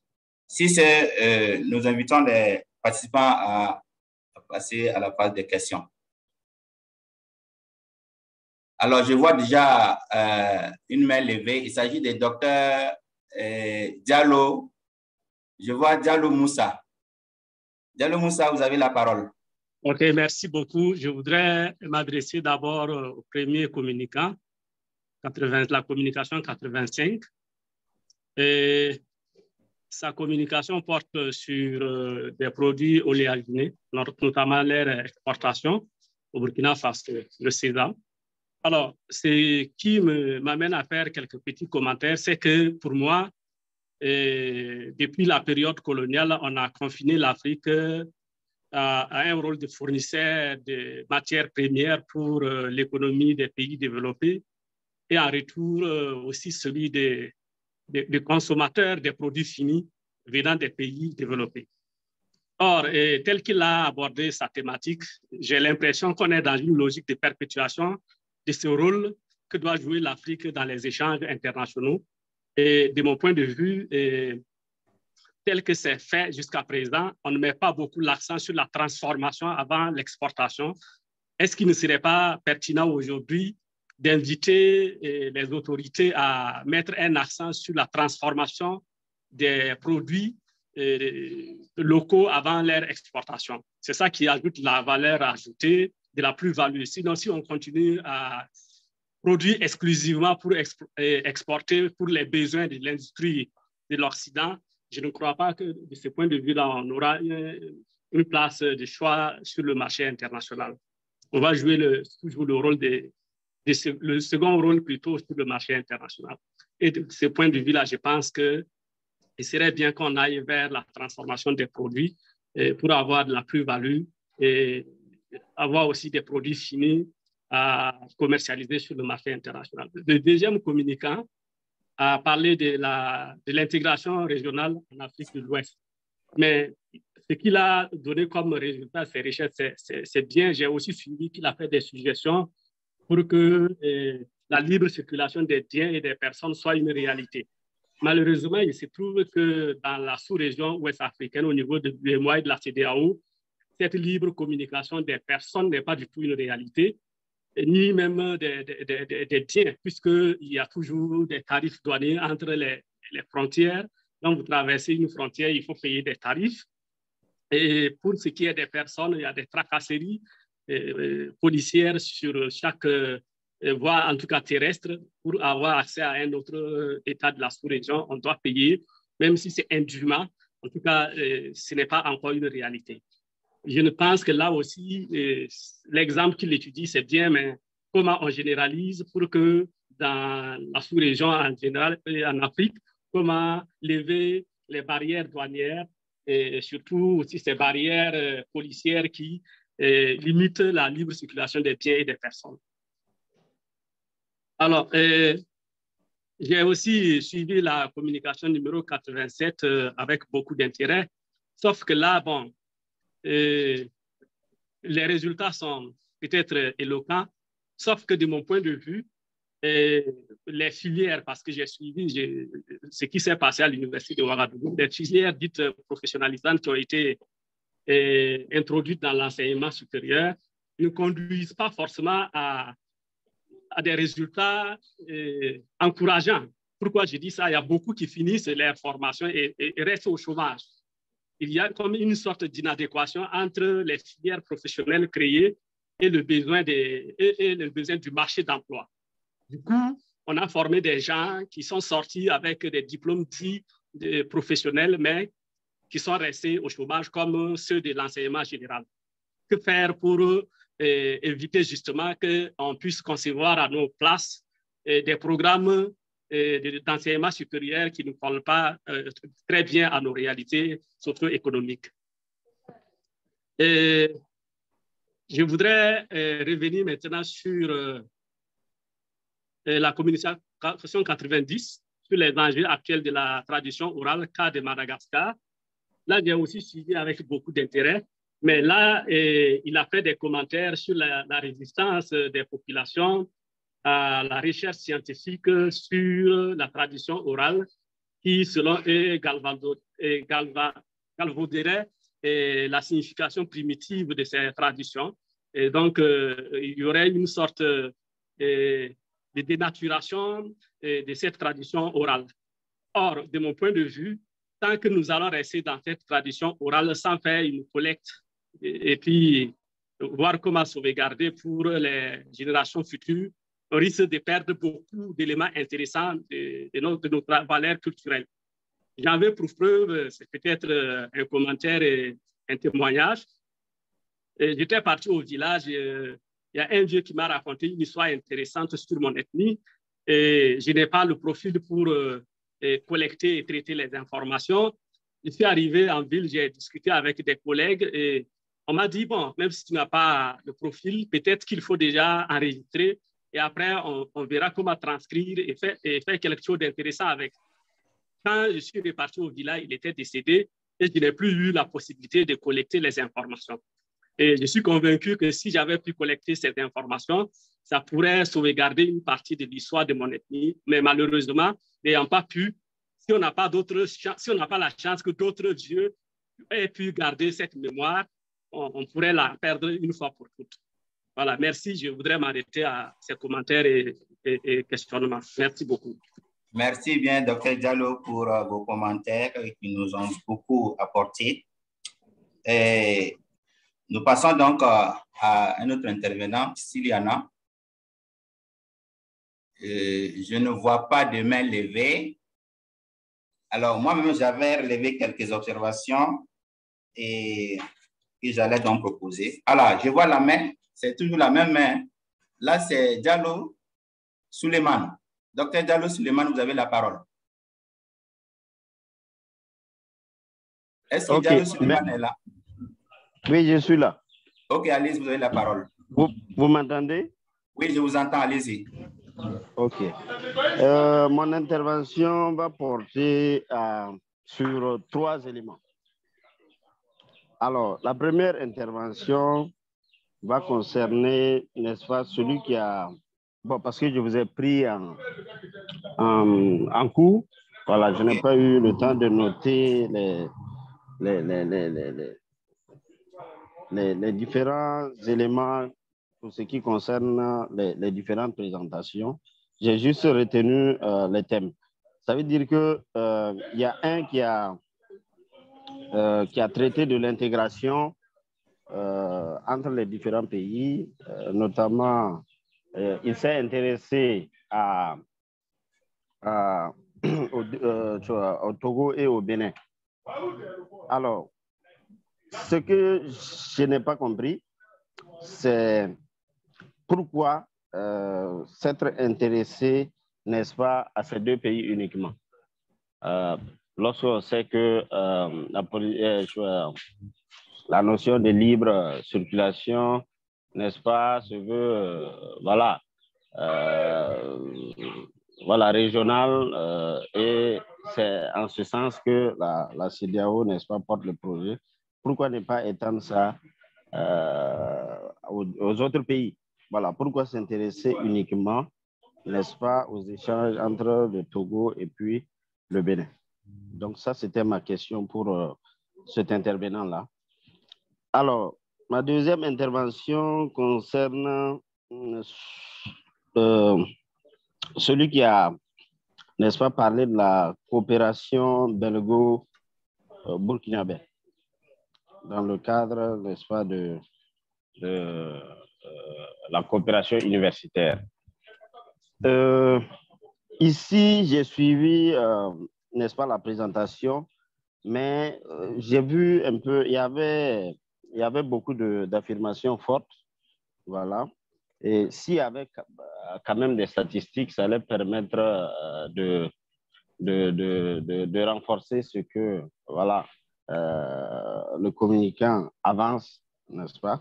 Et donc, euh, j'ai senti à ce niveau, au niveau de cette présentation, l'absence de statistiques pour, n'est-ce pas, appuyer hein, les différents éléments, les différents résultats euh, auxquels euh, celui-ci a abouti. Je ne sais pas si c'est parce que, voilà, il fallait présenter un truc succès et il a, n'est-ce pas, décidé de, de se passer de ces différents éléments-là. Donc, voilà, ça, manquait voilà, pour appuyer, n'est-ce pas, euh, ce qu'il ce qu'il avançait. Alors, la troisième intervention porte sur euh, le communicant qui, a, qui, a, qui nous a entretenu euh, par rapport à la rotation voilà, de pouvoir.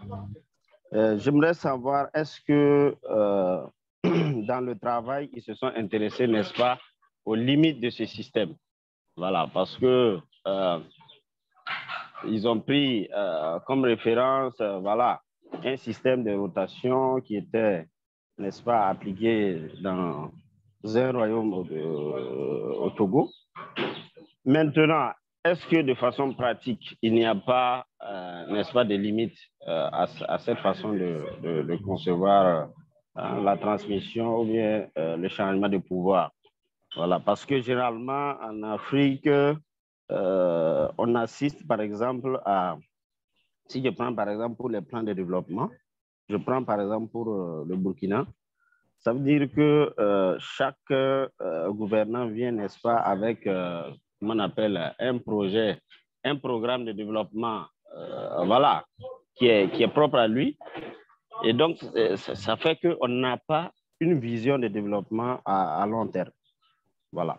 Et donc, ça fait que euh, si on est dans, dans, dans, dans, cette, dans ce système de, de, changement de, de, de, pouvoir de façon rotative, euh, on peut à un moment donné euh, ne pas avoir les résultats escomptés parce que chacun va vouloir venir faire, voilà, comme il consent les choses. Et bon, ça peut, ça peut créer des problèmes. Alors que si on a, n'est-ce pas, une vision d'ensemble, voilà, une vision de développement euh, sur un long terme. Voilà. Là, on, on, peut avoir une rotation, mais il y a, n'est-ce pas, quelque chose euh, voilà, sur lequel il faut s'aligner. Et puis, voilà, tout le monde sait que voilà, on doit aboutir à cela. Ça permettra, n'est-ce pas, de mesurer ou bien de, de, de, de je vais dire, de, je vais dire de, de, comment dirais-je, ça permettra d'évaluer, n'est-ce pas, euh, les différents, euh, les différents, euh, voilà, les différentes personnes qui vont, n'est-ce pas, venir au pouvoir et ça pourra, n'est-ce pas, permettre de savoir qui a été performant, qui n'a pas été performant et voilà.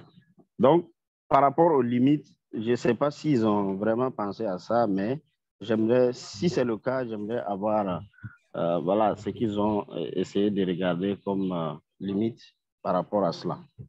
Voilà, je rejoins aussi docteur Diallo Moussa par rapport à la communication de, de Jakaria, voilà, Jakaria Ouattara, pour dire que la recherche devait, n'est-ce pas, voilà, pouvoir, voilà, me dire euh, qu'est-ce que euh, voilà, on fait pour changer, n'est-ce pas, le fait que hein, notre pays est, n'est-ce pas, à chaque fois euh, tenté d'exporter, pourquoi ne pas transformer à,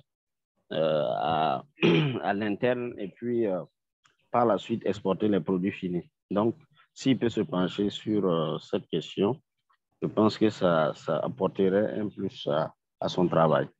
Donc voilà un peu ce que je, je pourrais dire par rapport aux différentes communications. Merci beaucoup. Merci bien, Dr. Diallo, pour votre contribution. Je vois de nombreuses mains qui sont levées. Et nous allons passer la parole à Dr. Akimou. Akimou, vous êtes en ligne? C'est pour répondre? C'est pour poser des questions. OK, d'accord, vous avez la parole.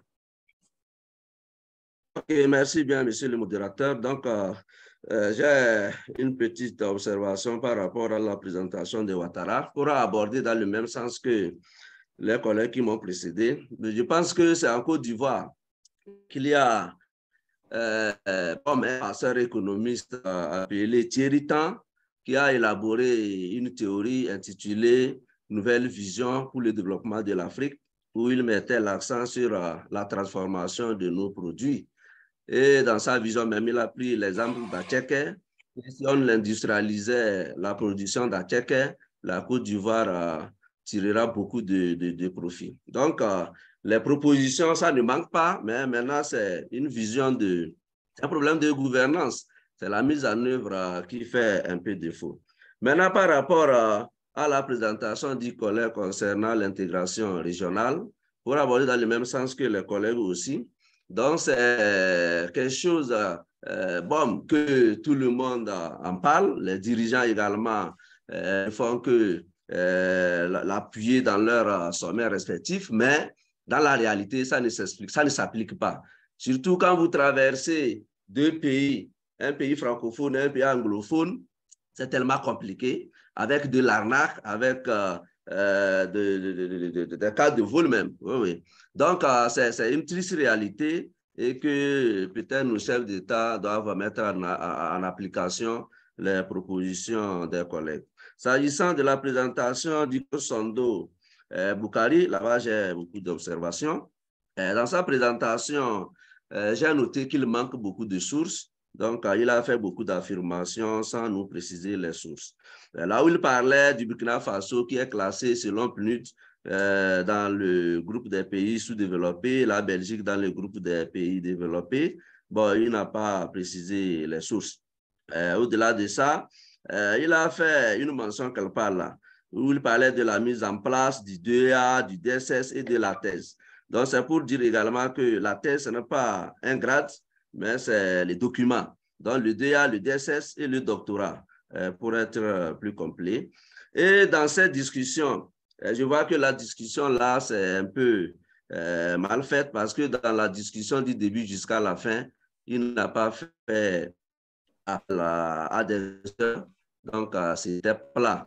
Alors que la discussion, c'est la confrontation de ces résultats à ceux des autres auteurs. ce que le collègue Ouedrabo, euh, qui a présenté après lui, a, bien fait. Donc, euh, voilà mes petites euh, contributions. Merci, monsieur le modérateur. Merci bien, docteur Akimou. nous sommes à 16h38. Nous avons encore une vingtaine de minutes. Nous allons toujours donner la parole aux intervenants. Et nous passons la parole donc à docteur Eddy. Est-ce que Eddy en ligne? Oui, Eddie en ligne, merci. Vous avez la parole, docteur. Merci, monsieur le modérateur. J'ai une seule préoccupation. Je voudrais m'adresser au collègue euh, Akimou, qui a parlé de la rotation du pouvoir, une alternative contre les crises sociopolitiques en Afrique. Effectivement, je suis d'avis avec lui euh, que la rotation du pouvoir marche, mais euh, je rejoins aussi d'autres intervenants de tout à l'heure, dit qu'il y a d'énormes limites. Moi, chez moi au village, euh, euh, la population est divisée en quatre grandes familles. Alors, au niveau de, la chefferie, il y a un système de rotation et ça marche parce qu'on connaît les quatre grandes familles.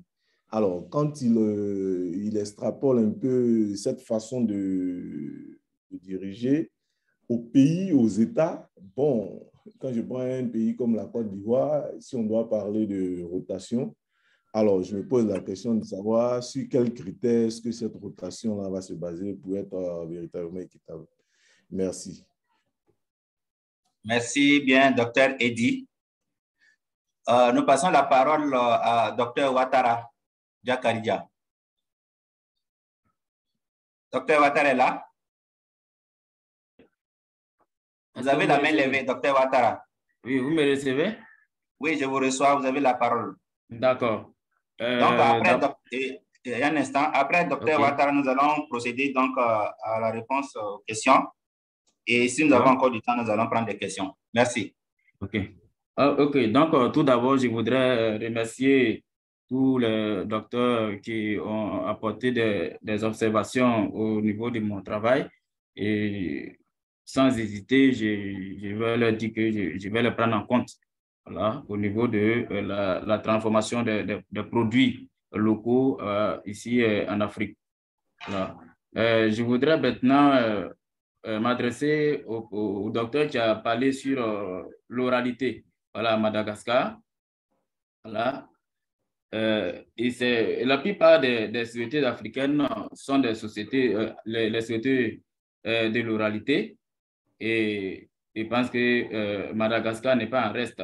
Alors, je voudrais savoir, au niveau de Madagascar, qu'est-ce qui est fait pour redonner à la tradition orale sa place dans la société? Maintenant, l'autre question s'adresse au docteur Eddy. Voilà, euh, selon son intervention, on a, la société a, en Côte d'Ivoire une euh, perception négative de l'EPS et ça fait que les acteurs, y compris les élèves, négligent cette matière.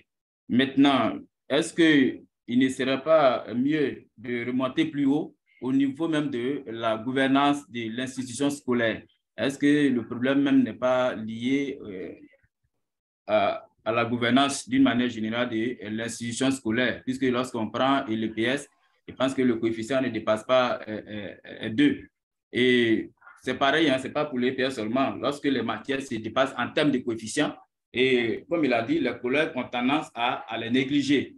Alors, il y a des pays où les matières scientifiques, quand même, le coefficient est élevé. Lorsque vous partez dans ces établissements-là, les matières à coefficient plus petit là sont euh, négligées au détriment des, euh, matières à gros coefficient. Donc, euh, je vous remercie.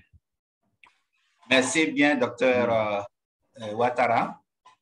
Et je vois encore la main du docteur Diallo Moussa. Alors, un instant, docteur Diallo, nous allons donner la parole aux différents communicants pour essayer d'apporter quelques éléments de réponse. Alors, si vous êtes prêts, vous pouvez lever la main pour répondre aux questions. Voilà, ceux à qui on a adressé les questions, vous avez donc le temps pour répondre. Alors, je vais demander donc à ceux qui voudraient poser des questions de ne pas lever la main et de laisser aux, aux intervenants euh, le temps de répondre. Alors, donc, je vois la main qui est là, c'est la main du docteur Diallo. Diallo, c'est pour euh, poser question ou répondre? Bon, je crois que c'est bon, je vais attendre. C'était juste pour revenir sur la rotation là, mais je vais attendre.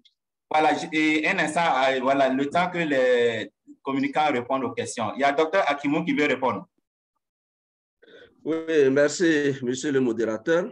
Voilà, merci. Donc, j'ai deux questions à, à, répondre. Il y a la question du docteur Diallo Suleiman euh, qui demandait à savoir si nous avons tenu compte des, des limites de ce système-là. Donc, euh, nous dirons d'emblée que euh, c'est Montesquieu qui disait que lorsqu'une bonne chose a des inconvénients, mieux vaut supprimer les inconvénients que la chose. Donc, comme nous l'avons dit, il n'y a pas une solution idéale sans inconvénients. Mais la meilleure des solutions, c'est celle qui a moins d'inconvénients. Ici, euh, on prendra des garde-fous. il y a des tests qui vont réglementer cette rotation du pouvoir-là. Donc, c'est le rôle que la constitution de chaque pays euh, doit jouer. Donc, euh, nous voyons que euh, ce n'est pas un problème à cause des limites. On ne va pas éviter peut-être une solution nous permet de résoudre des problèmes en Afrique. Maintenant, s'agissant de la question du docteur Eddy, donc il demande à savoir également si pour la Côte d'Ivoire, quels critères on peut adopter pour euh, bien gérer cette rotation-là. Comme nous l'avons dit, il appartient à chaque pays d'adopter un critère inclusif. Si nous prenons la Côte d'Ivoire, quel est le critère inclusif dominant dans le pays? Est-ce les partis politiques? Est-ce les régions? Est-ce les préfectures? Est-ce les États? Est-ce quoi Donc, c'est aux Ivoiriens de décider et d'adopter les critères inclusifs. Euh, ce que nous n'avons pas pu présenter, c'est qu'une fois que le pays adopte les critères inclusifs, donc on passe au tirage au sort. Supposons que la Côte d'Ivoire a préféré les préfectures. Si nous avons, par exemple, 10 préfectures en Côte d'Ivoire, donc on fait le tirage au sort. Et on classe ces préfectures-là de la première jusqu'à la dixième. Et maintenant, quand la première assure la présidence, la dernière assure la primature, ainsi de suite. Quand la deuxième assure la présidence, l'avant-dernière assure la primature, ainsi de suite. Donc voilà comment nous avons euh, élaboré notre euh, théorie de rotation du pouvoir. Donc, pour me résumer, il appartient à chaque pays d'adopter le critère inclusif qui peut permettre maintenant de gérer cette euh, rotation sans problème. Merci. Merci bien, docteur Akimo. J'espère que ceux qui ont posé les questions sont satisfaits. Dans tous les cas, nous avons encore du temps. Ils reviendront s'ils ne sont pas satisfaits. Nous passons la parole à, au doctorant Ouattara pour répondre aux questions. OK. Donc, euh, vous me recevez? Oui, on vous reçoit, allez-y. D'accord, d'accord. Donc, je pense que pour ce qui concerne euh, les produits africains, voilà, comme les, collègues l'ont si bien dit, je pense qu'il s'agit de. C'est un manque de, de, un manque de vision voilà, au niveau des autorités. Et il faut définir peut-être une politique pour la transformation des, des produits locaux. Parce qu'avec la transformation des produits locaux, je pense que ça, cela peut euh, euh, améliorer la plus-value et améliorer aussi les, les revenus. Donc, il n'y a, pas de, a pas de vision. C'est la politique africaine, la politique africaine au niveau des États, voilà, qui, qui est mal faite. Et c'est pourquoi euh, les États africains sont toujours dépendants des produits venant de, de l'extérieur. Lorsque vous prenez la plupart des pays, on produit peut-être le coton, le cacao, le café, et on exporte les produits bruts. Et la transformation est faite dans les pays développés, les pays dits industrialisés, et on revient encore nous vendre ces, produits finis à, à des coûts élevés. Donc, je pense qu'ici, le gouvernement devait avoir une politique de transformation des, produits locaux sur place. Donc, euh, je pense que c'est ce que je pourrais ajouter. Merci beaucoup. Merci bien, euh, euh, Ouattara. Nous passons la parole à Sando. D'accord, merci pour la parole. Donc, il y a quelques questions ou bien inquiétudes qui ont été soulevées par rapport à mon intervention. Euh, premièrement, le docteur Moussa Diallo, euh, en abordant la question de la professionnalisation des formations dans le cadre de cette coopération-là, euh, dit que des fois, le problème, ce n'est pas forcément la professionnalisation parce que des fois, en professionnalisant, même en professionnalisant, les formations, les diplômés ont des difficultés à avoir un emploi effectivement, il y a des cas comme ça. Euh, mais quand même, si je prends le cas de la formation en économie solidaire, il y a le professeur euh, Jean-Baptiste Z qui a fait Jean-Baptiste Z qui a fait un article là-dessus. Et dans son article, il ressort qu'environ 90% des diplômés qui sortent de la formation ont un emploi euh, au plus tard les, six mois qui suivent. Et après, il y en a euh, deux ans après, euh, trois, trois ans après. Même si, des fois, il y en a qui ont des emplois, des CDD, en attendant qu'ils aient des emplois un peu plus définitifs. Également, au niveau de, au niveau de l'entrepreneuriat, en tout cas, à la période, durant le programme là, il y avait un mécanisme d'accompagnement des diplômés, de ceux qui sortaient euh, de cette formation-là. Généralement, c'était 17 euh, diplômés par, en tout cas par session qui sortaient, et il y avait un accompagnement pour mettre en place des entreprises, même si certaines entreprises ne se pas. Seulement que après cette coopération, euh, ne plus réellement si s'il y a un accompagnement de ce genre-là toujours en place. concernant le docteur Diallo Suleiman, il a demandé certaines statistiques qui ne ressortent pas dans ma communication. Effectivement, c'est plutôt dans l'article, sinon dans la communication, je n'ai pas introduit ces statistiques-là. Même si les statistiques qu'on trouve, c'est plutôt des statistiques générales qui concernent l'ensemble des programmes, mais pas l'aspect que j'ai étudié. Maintenant, si je peux donner quelques-unes, c'est que j'ai parlé du programme d'EDA, développement, éducation et développement des adultes. Par exemple, ce projet-là recrute par an 30 étudiants, donc pour le cycle licence, bien sûr, et le recrutement est destiné à, à toute la sous-région, à tous les ressortissants de la sous-région, ceux qui veulent postuler, mais en tout cas, la limite est fixée à 30. Et au cours des, des programmes, des programmes quinquennaux, euh, l'intervalle de mon étude, c'est trois périodes quinquennales. Pardon. Donc, euh, il y avait euh, un mécanisme de bourse. En tout cas, les, les 30 qui étaient recrutés là avaient toujours pour finir, pour faire la, licence, en fait, le rapport de, licence. Concernant la formation en entrepreneuriat, il y a une vingtaine qui sont recrutés par an et accompagnés, comme je l'ai dit. Également, au niveau de la formation en pédagogie universitaire, c'était dans le cadre de, du troisième plan quinquennal 2008-2012. Et au total, il y a eu 11 enseignants-chercheurs qui ont été formés à Ouagadou, à Bobo, euh, non, plutôt à Ouaguia. Et euh, des enseignants qui ont effectué également au moins deux stages de recyclage en Belgique de deux mois, deux mois. Euh, donc, à l'issue de la session de formation, il y a 11 qui ont été, pardon, il y a 9 qui ont été déclarés aptes. Je peux donner des noms comme la professeure Yvonne Bonzi, le professeur Jacques Nanima, le professeur Mahamadou Diallo en, en, anglais qui doit être à la retraite maintenant.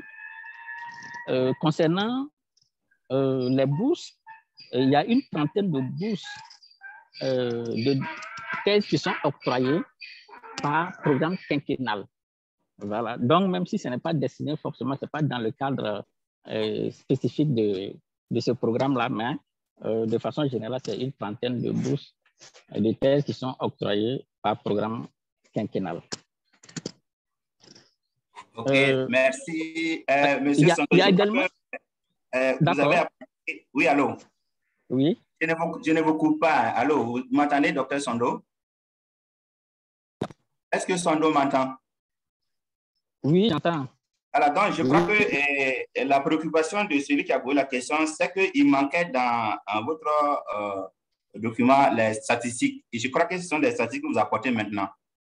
Oui, donc, le reproche, c'était que ces éléments-là, ces informations manquaient dans votre document. Donc, il serait intéressant peut-être de joindre ces statistiques-là au document et, et la question ne serait plus posée. Non, au niveau du document, il y en a. C'est au niveau de la communication que je n'ai pas introduit. Exactement, exactement. OK. Alors, donc, euh, là, il ne nous reste plus assez de temps. Je crois que vous avez essayé d'apporter quelques éléments de réponse. Ah, oui, oui. On va passer la parole à Fala pour apporter quelques éléments de réponse. Fala, vous avez la parole. OK, merci beaucoup, chers organisateurs. Merci pour les apports et les orientations par rapport à mathématiques.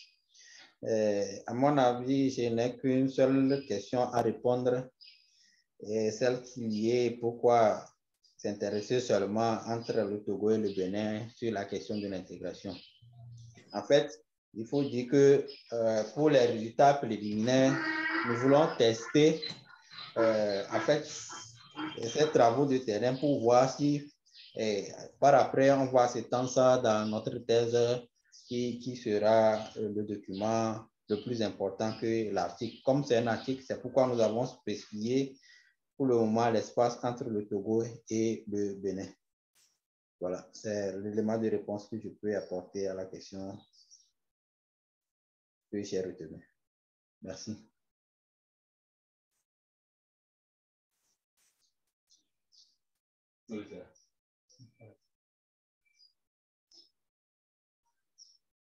Allô? Merci bien. Alex, est-ce que Alex est en ligne? Oui, euh, oui, oui, je suis en ligne. Et Vous avez la parole. Oui, merci pour m'avoir donné la parole.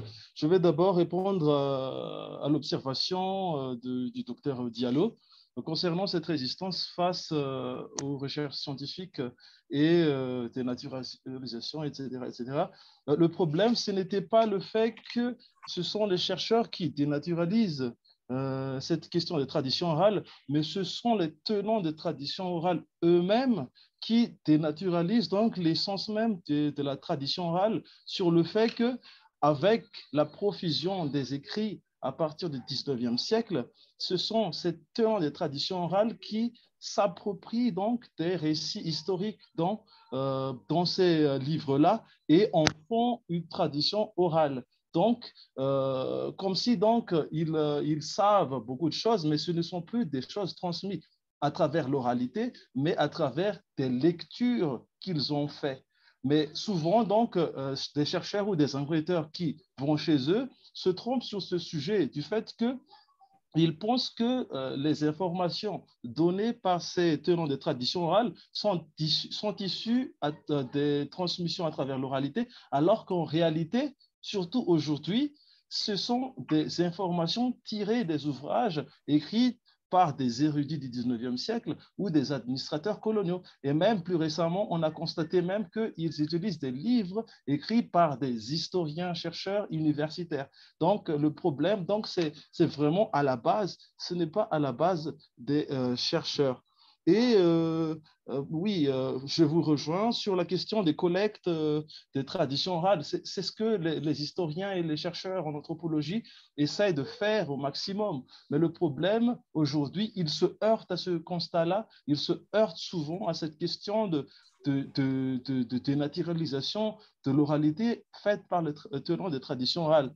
Il y a plus de dix historiens.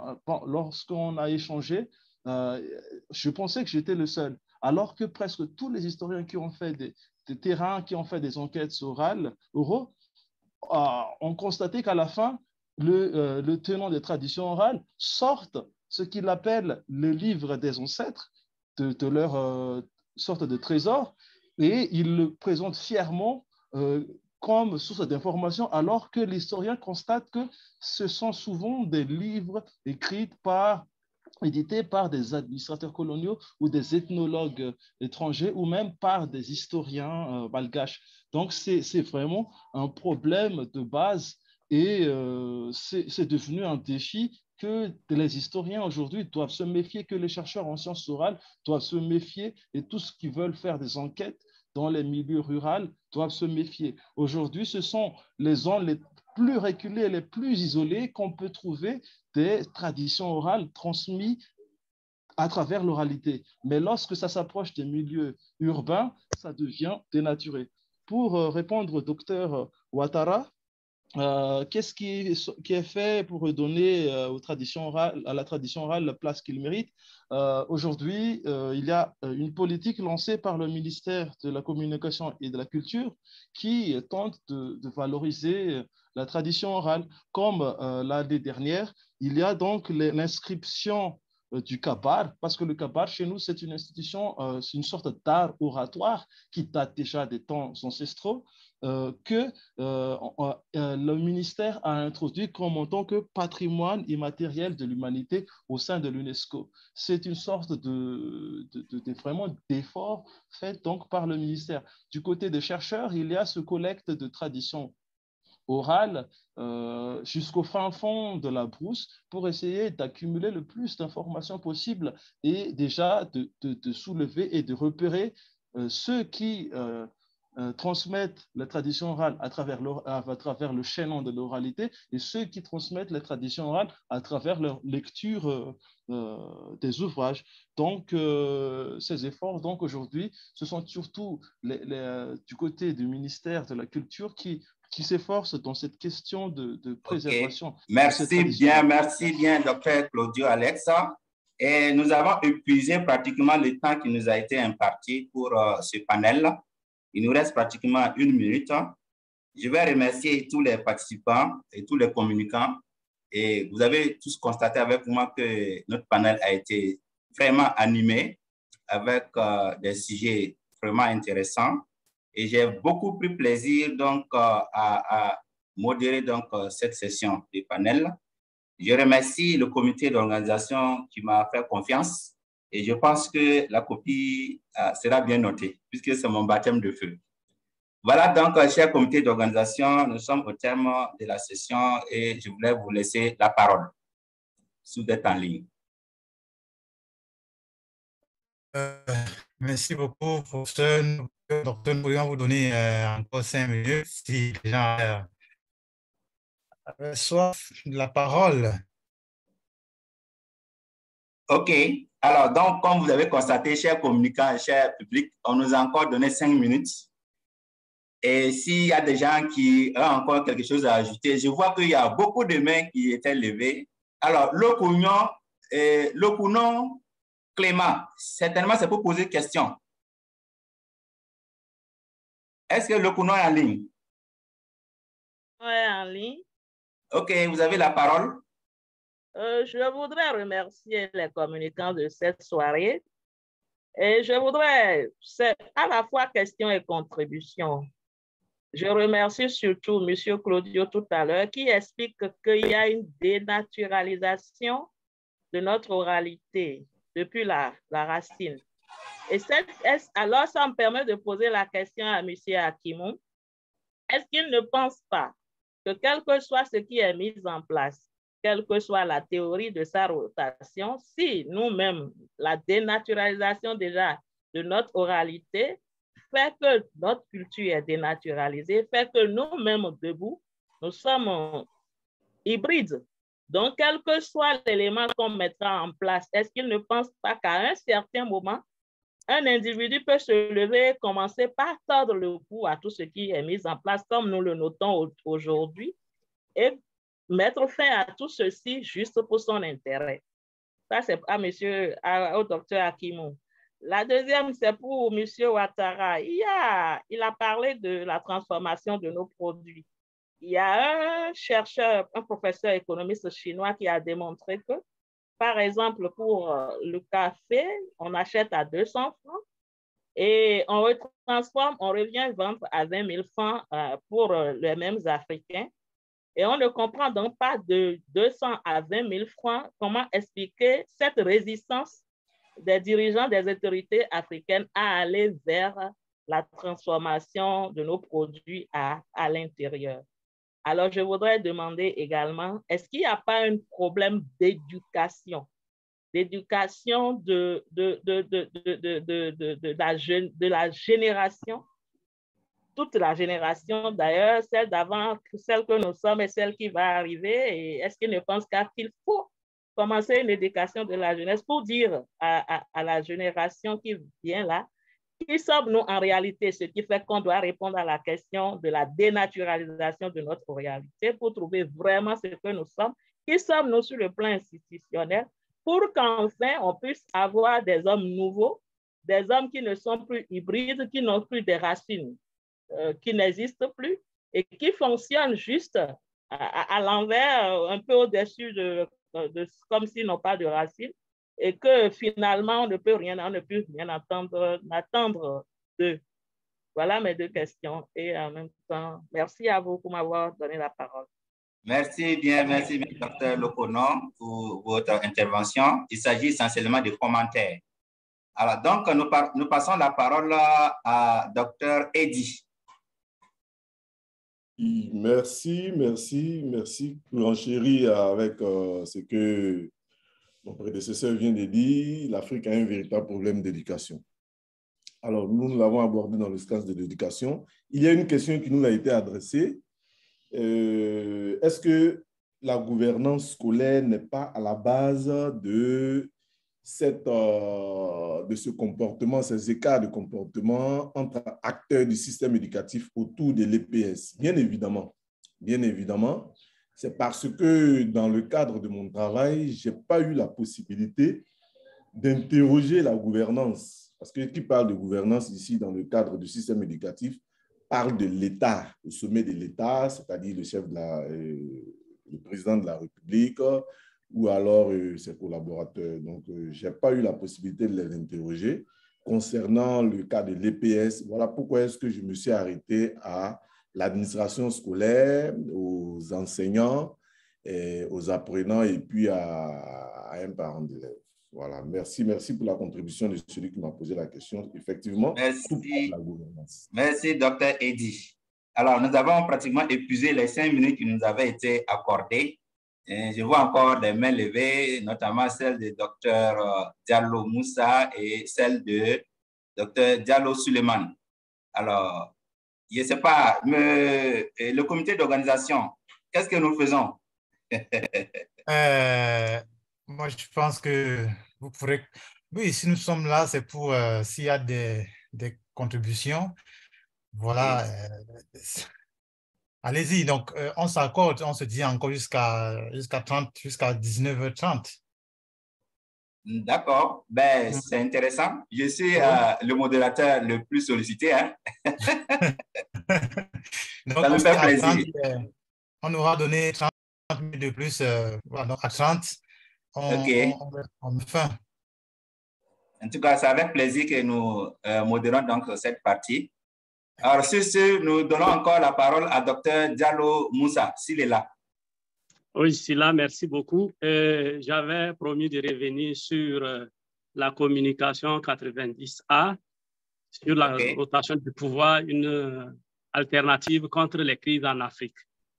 J'avais quelques commentaires justement d'abord théoriques d'un point de vue de la philosophie politique. Je pense que euh, il n'y a pas un système politique euh, que l'on puisse euh, envisager sans inconvénient majeur même. Je voudrais reprendre les mots de Montesquieu. Hein, tous ceux qui détiennent le pouvoir sont tentés d'en abuser. Et si on n'a pas un mécanisme fiable de, contrôle de ceux qui exercent le pouvoir, on va toujours assister à des tentatives d'abus du pouvoir. Sauf que euh, le système qui a été proposé est inspiré de notre socle culturel, ce qui est une très bonne chose. Mais je voudrais aussi insister sur un fait qui, a, qui est apparu au Burkina Faso pendant un certain moment. C'est la question du pouvoir monarchique euh, qui existe encore chez les Mossé et euh, aussi dans l'est du Burkina Faso. Et pendant un certain temps, la transmission qui se faisait de, euh, fils, de, père en fils, donc de façon héréditaire, marchait plus ou moins bien, jusqu'à ce qu'à un moment donné, avec l'ingérence des politiques, on a assisté à des transmissions conflictuelles avec plusieurs prétendants. Et dernièrement, on a assisté à des situations où on a proclamé deux chefs coutumiers ce qui n'arrivait jamais auparavant dans la transmission du pouvoir. Et justement, ça, ça montre qu'il n'y a pas de système fiable à 100%.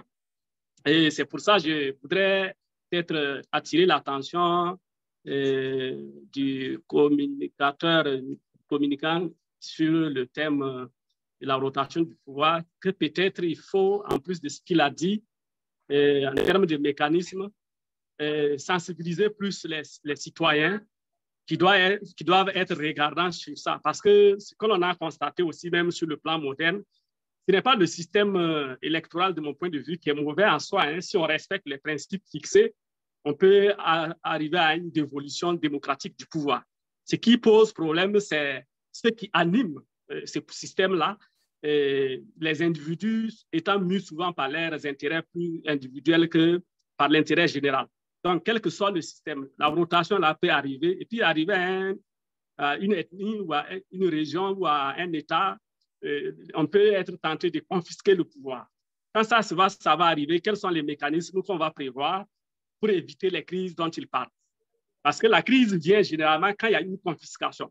Or, la rotation en soi n'empêche pas que quelqu'un refuse de transmettre le pouvoir.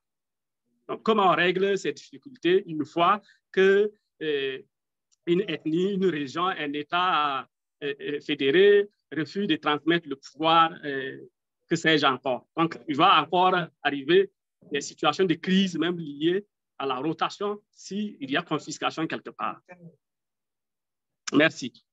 Merci bien, Dr. Diallo, pour votre forte contribution. Nous passons la parole à Dr. Diallo Suleiman. Est-ce que Dr. Diallo Suleiman est en ligne?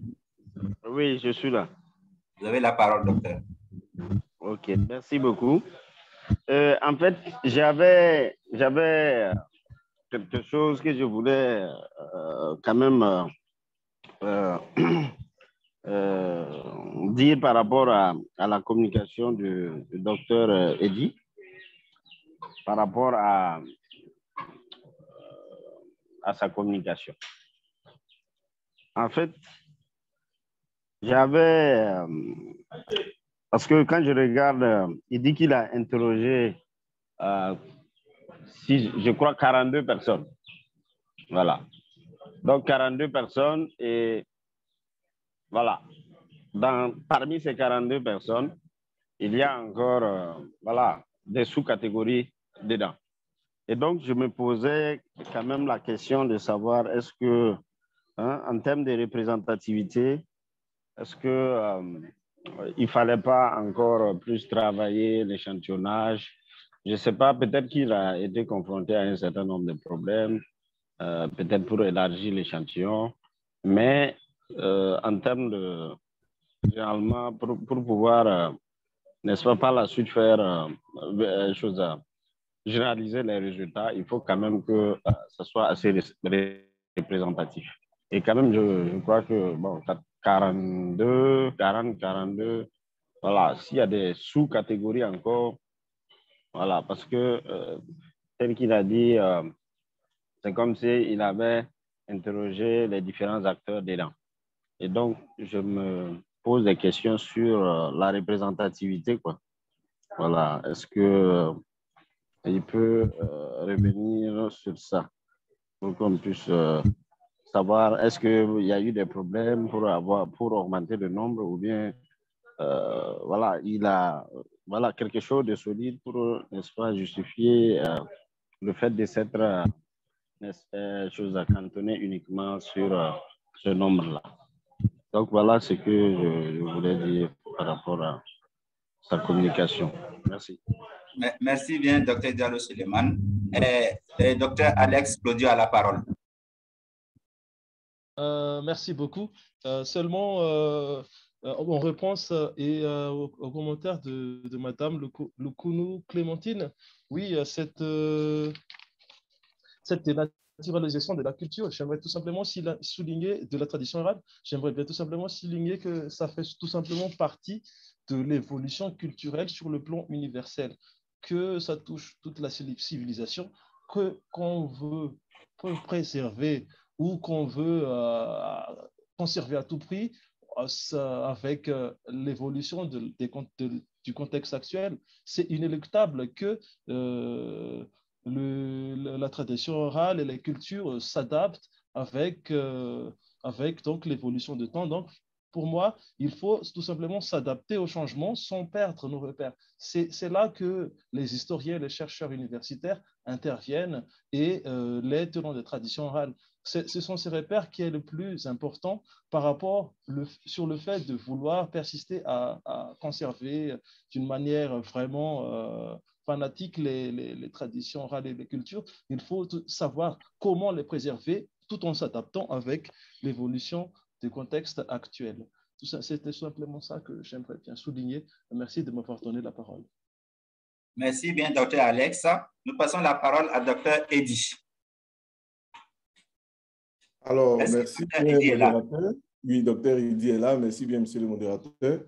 Alors, pour éclairer, pour, pour éclairer, un peu l'intervenant de tout à l'heure, euh, je n'ai pas dit en fait dans mon travail que ici en Côte d'Ivoire, la discipline EPS est totalement négligée de cette façon. Non. Parce que quand vous regardez un peu euh, mon échantillonnage, j'ai dit que c'est un échantillonnage par choix raisonné parmi les acteurs reconnus pour avoir au moins une fois fait preuve de comportement parfois désobligeant à l'endroit de l'EPS. Absentéisme, grogne, dédain, plainte, etc. C'est une façon de dire que il y a souvent, enfin pas très souvent, les crises qui proviennent de, qui viennent des, des, des, des acteurs de, du système éducatif au sujet de l'EPS. Voici les raisons qui qui peuvent être indexés dans ces grilles-là. L'EPS, comme toutes les disciplines qui ont un coefficient très bas, comme l'a souligné tout à l'heure quelqu'un, rencontre par moment quelques problèmes, mais pas de l'ensemble des, acteurs, mais de quelques acteurs qui ont gardé certaines perceptions lors de leur passage dans les lycées et collèges à l'époque. Ce n'est pas, pas généralisé. Ce n'est pas qu'en Côte d'Ivoire, l'EPS est négligé, non. Mais les quelques crises qu'il y a autour de l'EPS, voici ce qu'on peut indexer comme preuve, comme cause, et comment est-ce que nous allons faire pour les résoudre. Donc, voilà un peu l'éclairage que je veux apporter. Merci.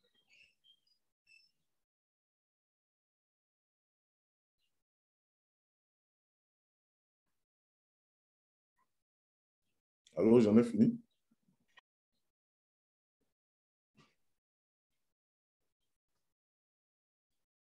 Oui, le modérateur est là, j'ai fini.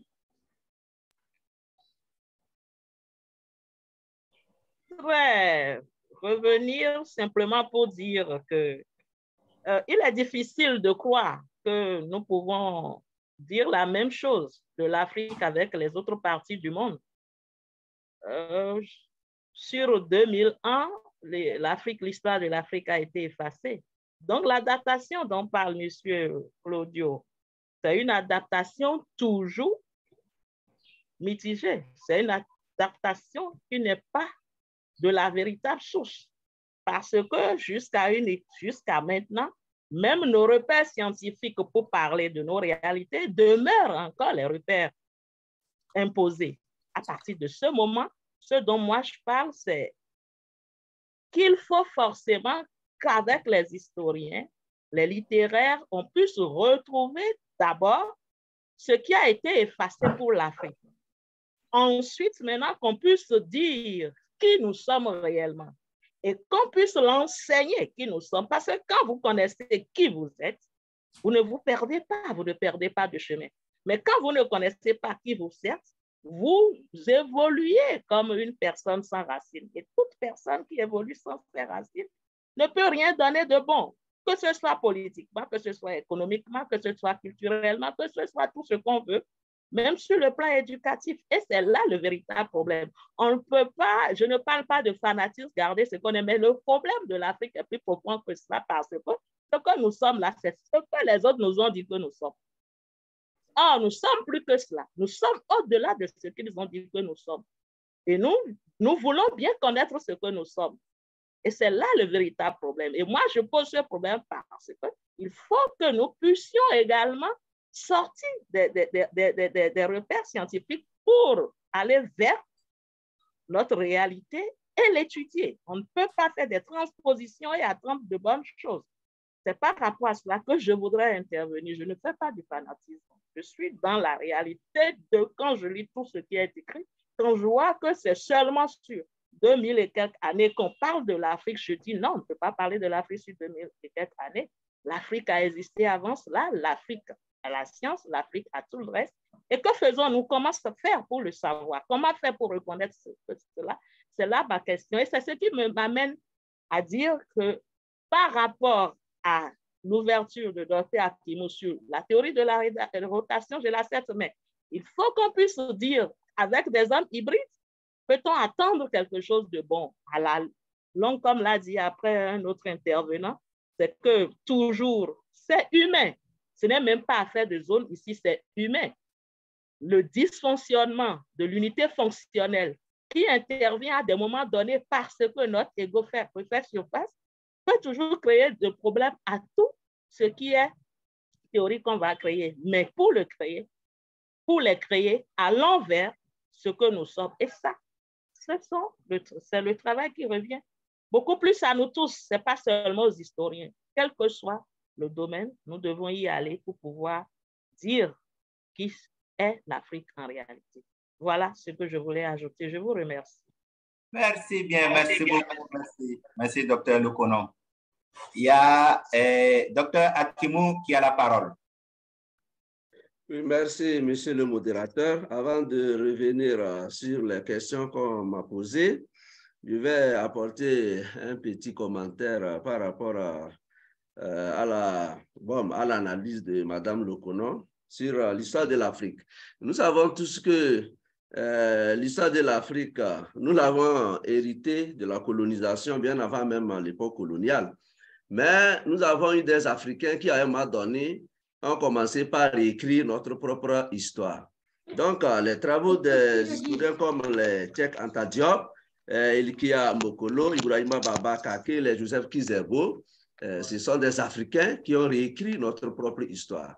Maintenant, là où le bas blesse, c'est que notre propre histoire n'est pas bien enseignée, n'est pas bien intégrée dans nos, dans nos curricula de formation.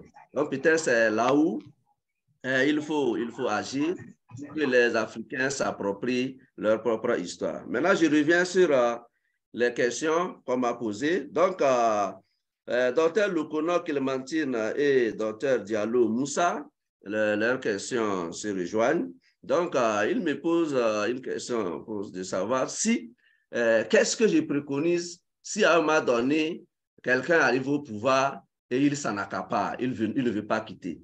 Donc, comme je l'avais dit, euh, tout est humain, il n'y a pas une solution euh, miracle sans inconvénient. Maintenant, les contrepoids ici, c'est que il y a une petite nuance entre l'ancien système, c'est-à-dire le suffrage universel que nous vivons de, nos jours, et le système de rotation du pouvoir que je préconise. J'ai dit que dans l'ancien système euh, suffrage universel, là, il y a euh, de l'exclusivité là-bas. Donc, on exclut une majorité même de la population. Alors que dans la rotation du pouvoir, c'est l'inclusivité. Donc, c'est l'intérêt général. Chacun aspire à diriger un jour. Chacun a une chance de, de, de, de diriger un jour. Donc, cela fera que quand quelqu'un va essayer d'en abuser, donc, c'est euh, l'intérêt général qui est menacé et la population va se soulever contre euh, ces, pratiques-là. Mais tel que ça se pratique de nos jours, lorsqu'il y a problème ou bien lorsqu'il y a usurpation du pouvoir ou du d'État, vous allez voir qu'il y a certains qui se disent non, ça là, ce n'est pas mon affaire. C'est comme euh, la gestion du pouvoir là, c'est pour les autres, puisqu'on parle de l'exclusion. Vous voyez, non, mais lorsqu'il y a de l'inclusivité, l'inclusion là, donc, ça fera que lorsqu'il y a un problème, c'est la majorité de la population qui va se soulever et quelle que soit votre détermination, vous serez obligé de céder. Donc, j'ai parlé également des contre-fous euh, et des garde-fous qu'on peut inclure dans nos constitutions. Ici, c'est un changement de contrat social. Donc, l'ancien contrat, basé sur l'élection, euh, les élections, là, suffrage universel, là, nous voyons les limites avec tout ce qui se passe dans nos pays. Est-ce qu'en vertu de ça, nous allons euh, bloquer la porte à de nouvelles perspectives Je dirais non. Donc, la manière, euh, la, solution euh, ici, c'est que il faut expérimenter une chose avant de pouvoir peut-être identifier ces, insuffisances et ces inconvénients. Bon, on ne peut pas élaborer une chose sans toutefois proposer de soulever des insuffisances, il faut nuancer. Mais une fois qu'il y ait de ces choses-là, Bon, il y a des mécanismes qu'on doit intégrer dans nos constitutions qui vont régler cela sans problème. Merci, monsieur le modérateur. Merci bien, docteur Akimou. Je vois encore une main levée, celle de docteur Alex Claudio. Vous avez la parole. Oui, merci beaucoup euh, pour euh, m'avoir demandé encore la, euh, parole. J'aimerais tout simplement répondre à Madame Locono sur ses remarques et je, je, je, je la rejoins sur ce qu'elle dit qu'il faut vraiment retourner aux sources. Mais j'aimerais quand même souligner que pour nous, cas de Madagascar, notre avantage, c'est que dès le XVIe siècle, nous avons déjà des malgaches qui ont écrit sur les malgaches en caractère arabe. Et euh, au 19e siècle, il y avait déjà des malgaches qui ont écrit sur les malgaches, qui, qui étaient une sorte d'avantage pour nous, mais qui sont devenus des inconvénients parce que ce sont ces écrits des malgaches que les tenants de tradition orale ont récupérés et l'ont euh, transmis d'une manière orale. Et euh, aller avec ça, les questions euh, des, des, administrateurs coloniaux. Mais quand même, euh, on peut, euh, on, peut pas s'empêcher, donc, avec le dynamisme actuel, euh, on va, les chercheurs, je pense, il est nécessaire qu'on fasse le maximum pour préserver et chercher notre nature, mais cette recherche, c'est important pour notre repère, mais ce qui ne nous empêche pas quand même de voir la réalité en face et être pragmatique face aux forces pressantes de, de l'évolution du contexte, surtout face à la mondialisation actuelle. Mais quand même, c'est un devoir pour nous, chercheurs africains, de valoriser la nôtre sans vouloir retomber dans le, dans euh, une sorte de réécriture euh, de l'histoire. C'est vrai que nous avons hérité une partie de notre histoire des colonisateurs, mais quand même, lorsqu'on va écrire notre histoire, ce n'est pas aussi dans, dans, dans, dans, la vision de le fausser, parce que là, ces derniers mois, on assiste vraiment à la profusion d'une sorte de, révisionnisme euh, panafricain qui veut s'approprier d'autres civilisations comme l'Égypte, alors qu'eux-mêmes, ils ont leur propre civilisation qu'ils doivent valoriser, mais qu'ils vont chercher ça dans d'autres civilisations telles que l'Égypte. Je pense que le mieux, c'est que regarder d'une manière locale, puis régionale. Merci beaucoup.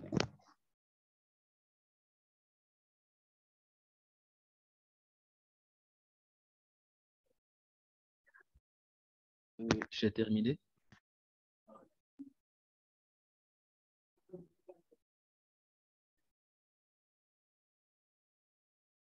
Je voudrais intervenir, euh, faire un commentaire par rapport aux interventions sur la, rotation du pouvoir. Voilà, donc, euh, euh, celui qui a fait la présentation a parlé d'une nouvelle forme de gouvernance.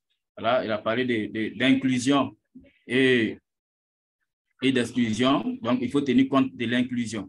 Alors, on remarque que dans la plupart des pays, euh, des pays de l'Afrique subsaharienne, alors, c'est vrai, la démocratie est en mal, mais je pense qu'il faut peut-être avoir du, euh, du, recul, parce que la plupart des, présidents élus en Afrique ont certes la légalité, mais il leur manque la légitimité.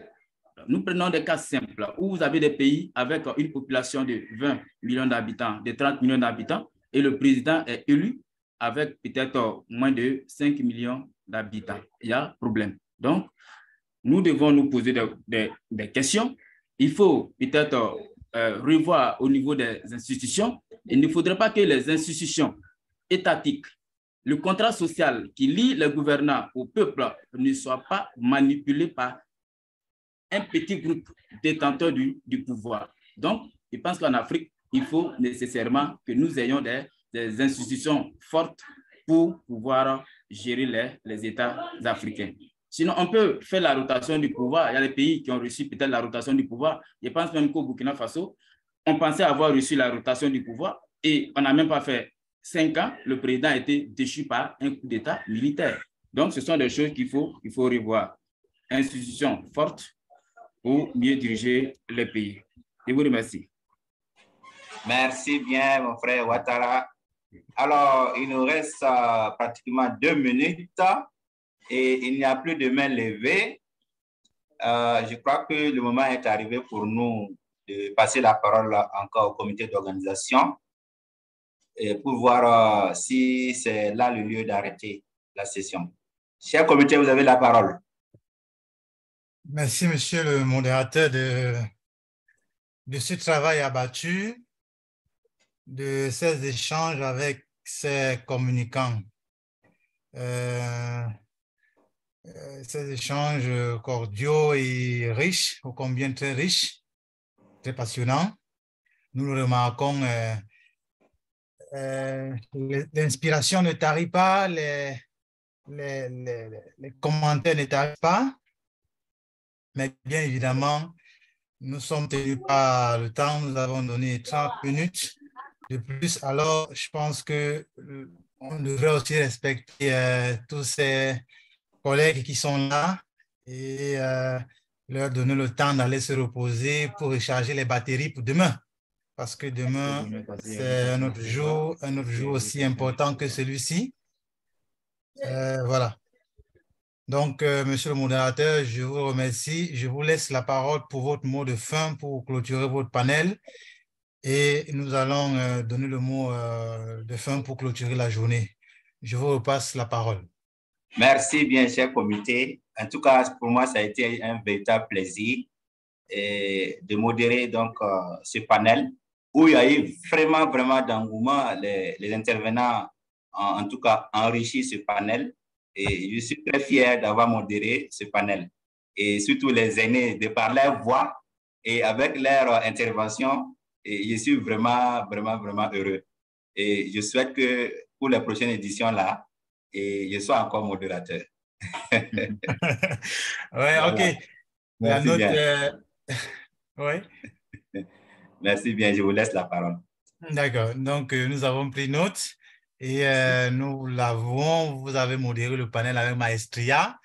Merci bien, merci bien. Et voilà. Donc, euh, nous vous remercions pour ce travail. Alors, tout ce que Merci. je peux dire, c'est au nom du comité scientifique, du comité d'organisation et scientifique, de vous remercier d'être venus aujourd'hui nombreux et d'avoir euh, participé à cette euh, première journée de la deuxième phase de ce colloque qui va se poursuivre demain. Et euh, merci à tous les participants pour leur, je veux dire, leur discipline, parce que c'est à partir de cette discipline que nous réussissons les, ces, ces sessions qui sont en ligne. Euh, ma foi, qui parfois, lorsqu'il y a de l'indiscipline, on ne parvient pas à atteindre nos objectifs. Jusqu'ici, nous atteignons nos objectifs et c'est grâce à, à nous tous, grâce à vous, grâce à... Voilà. Donc, euh, je déclare cette journée euh, euh, close. On se revoit demain et nous avons déjà envoyé les mails pour l'invitation de demain. Alors, je vous remercie. On se dit à demain, s'il plaît à Dieu.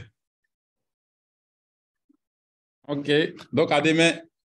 Voilà, À à demain. demain, oui. À demain, Monsieur Lopez. Oui. À demain, tout le monde. À demain, à demain. bye. À demain. À demain. Au revoir. Au revoir, les docteurs. Au revoir. Au revoir.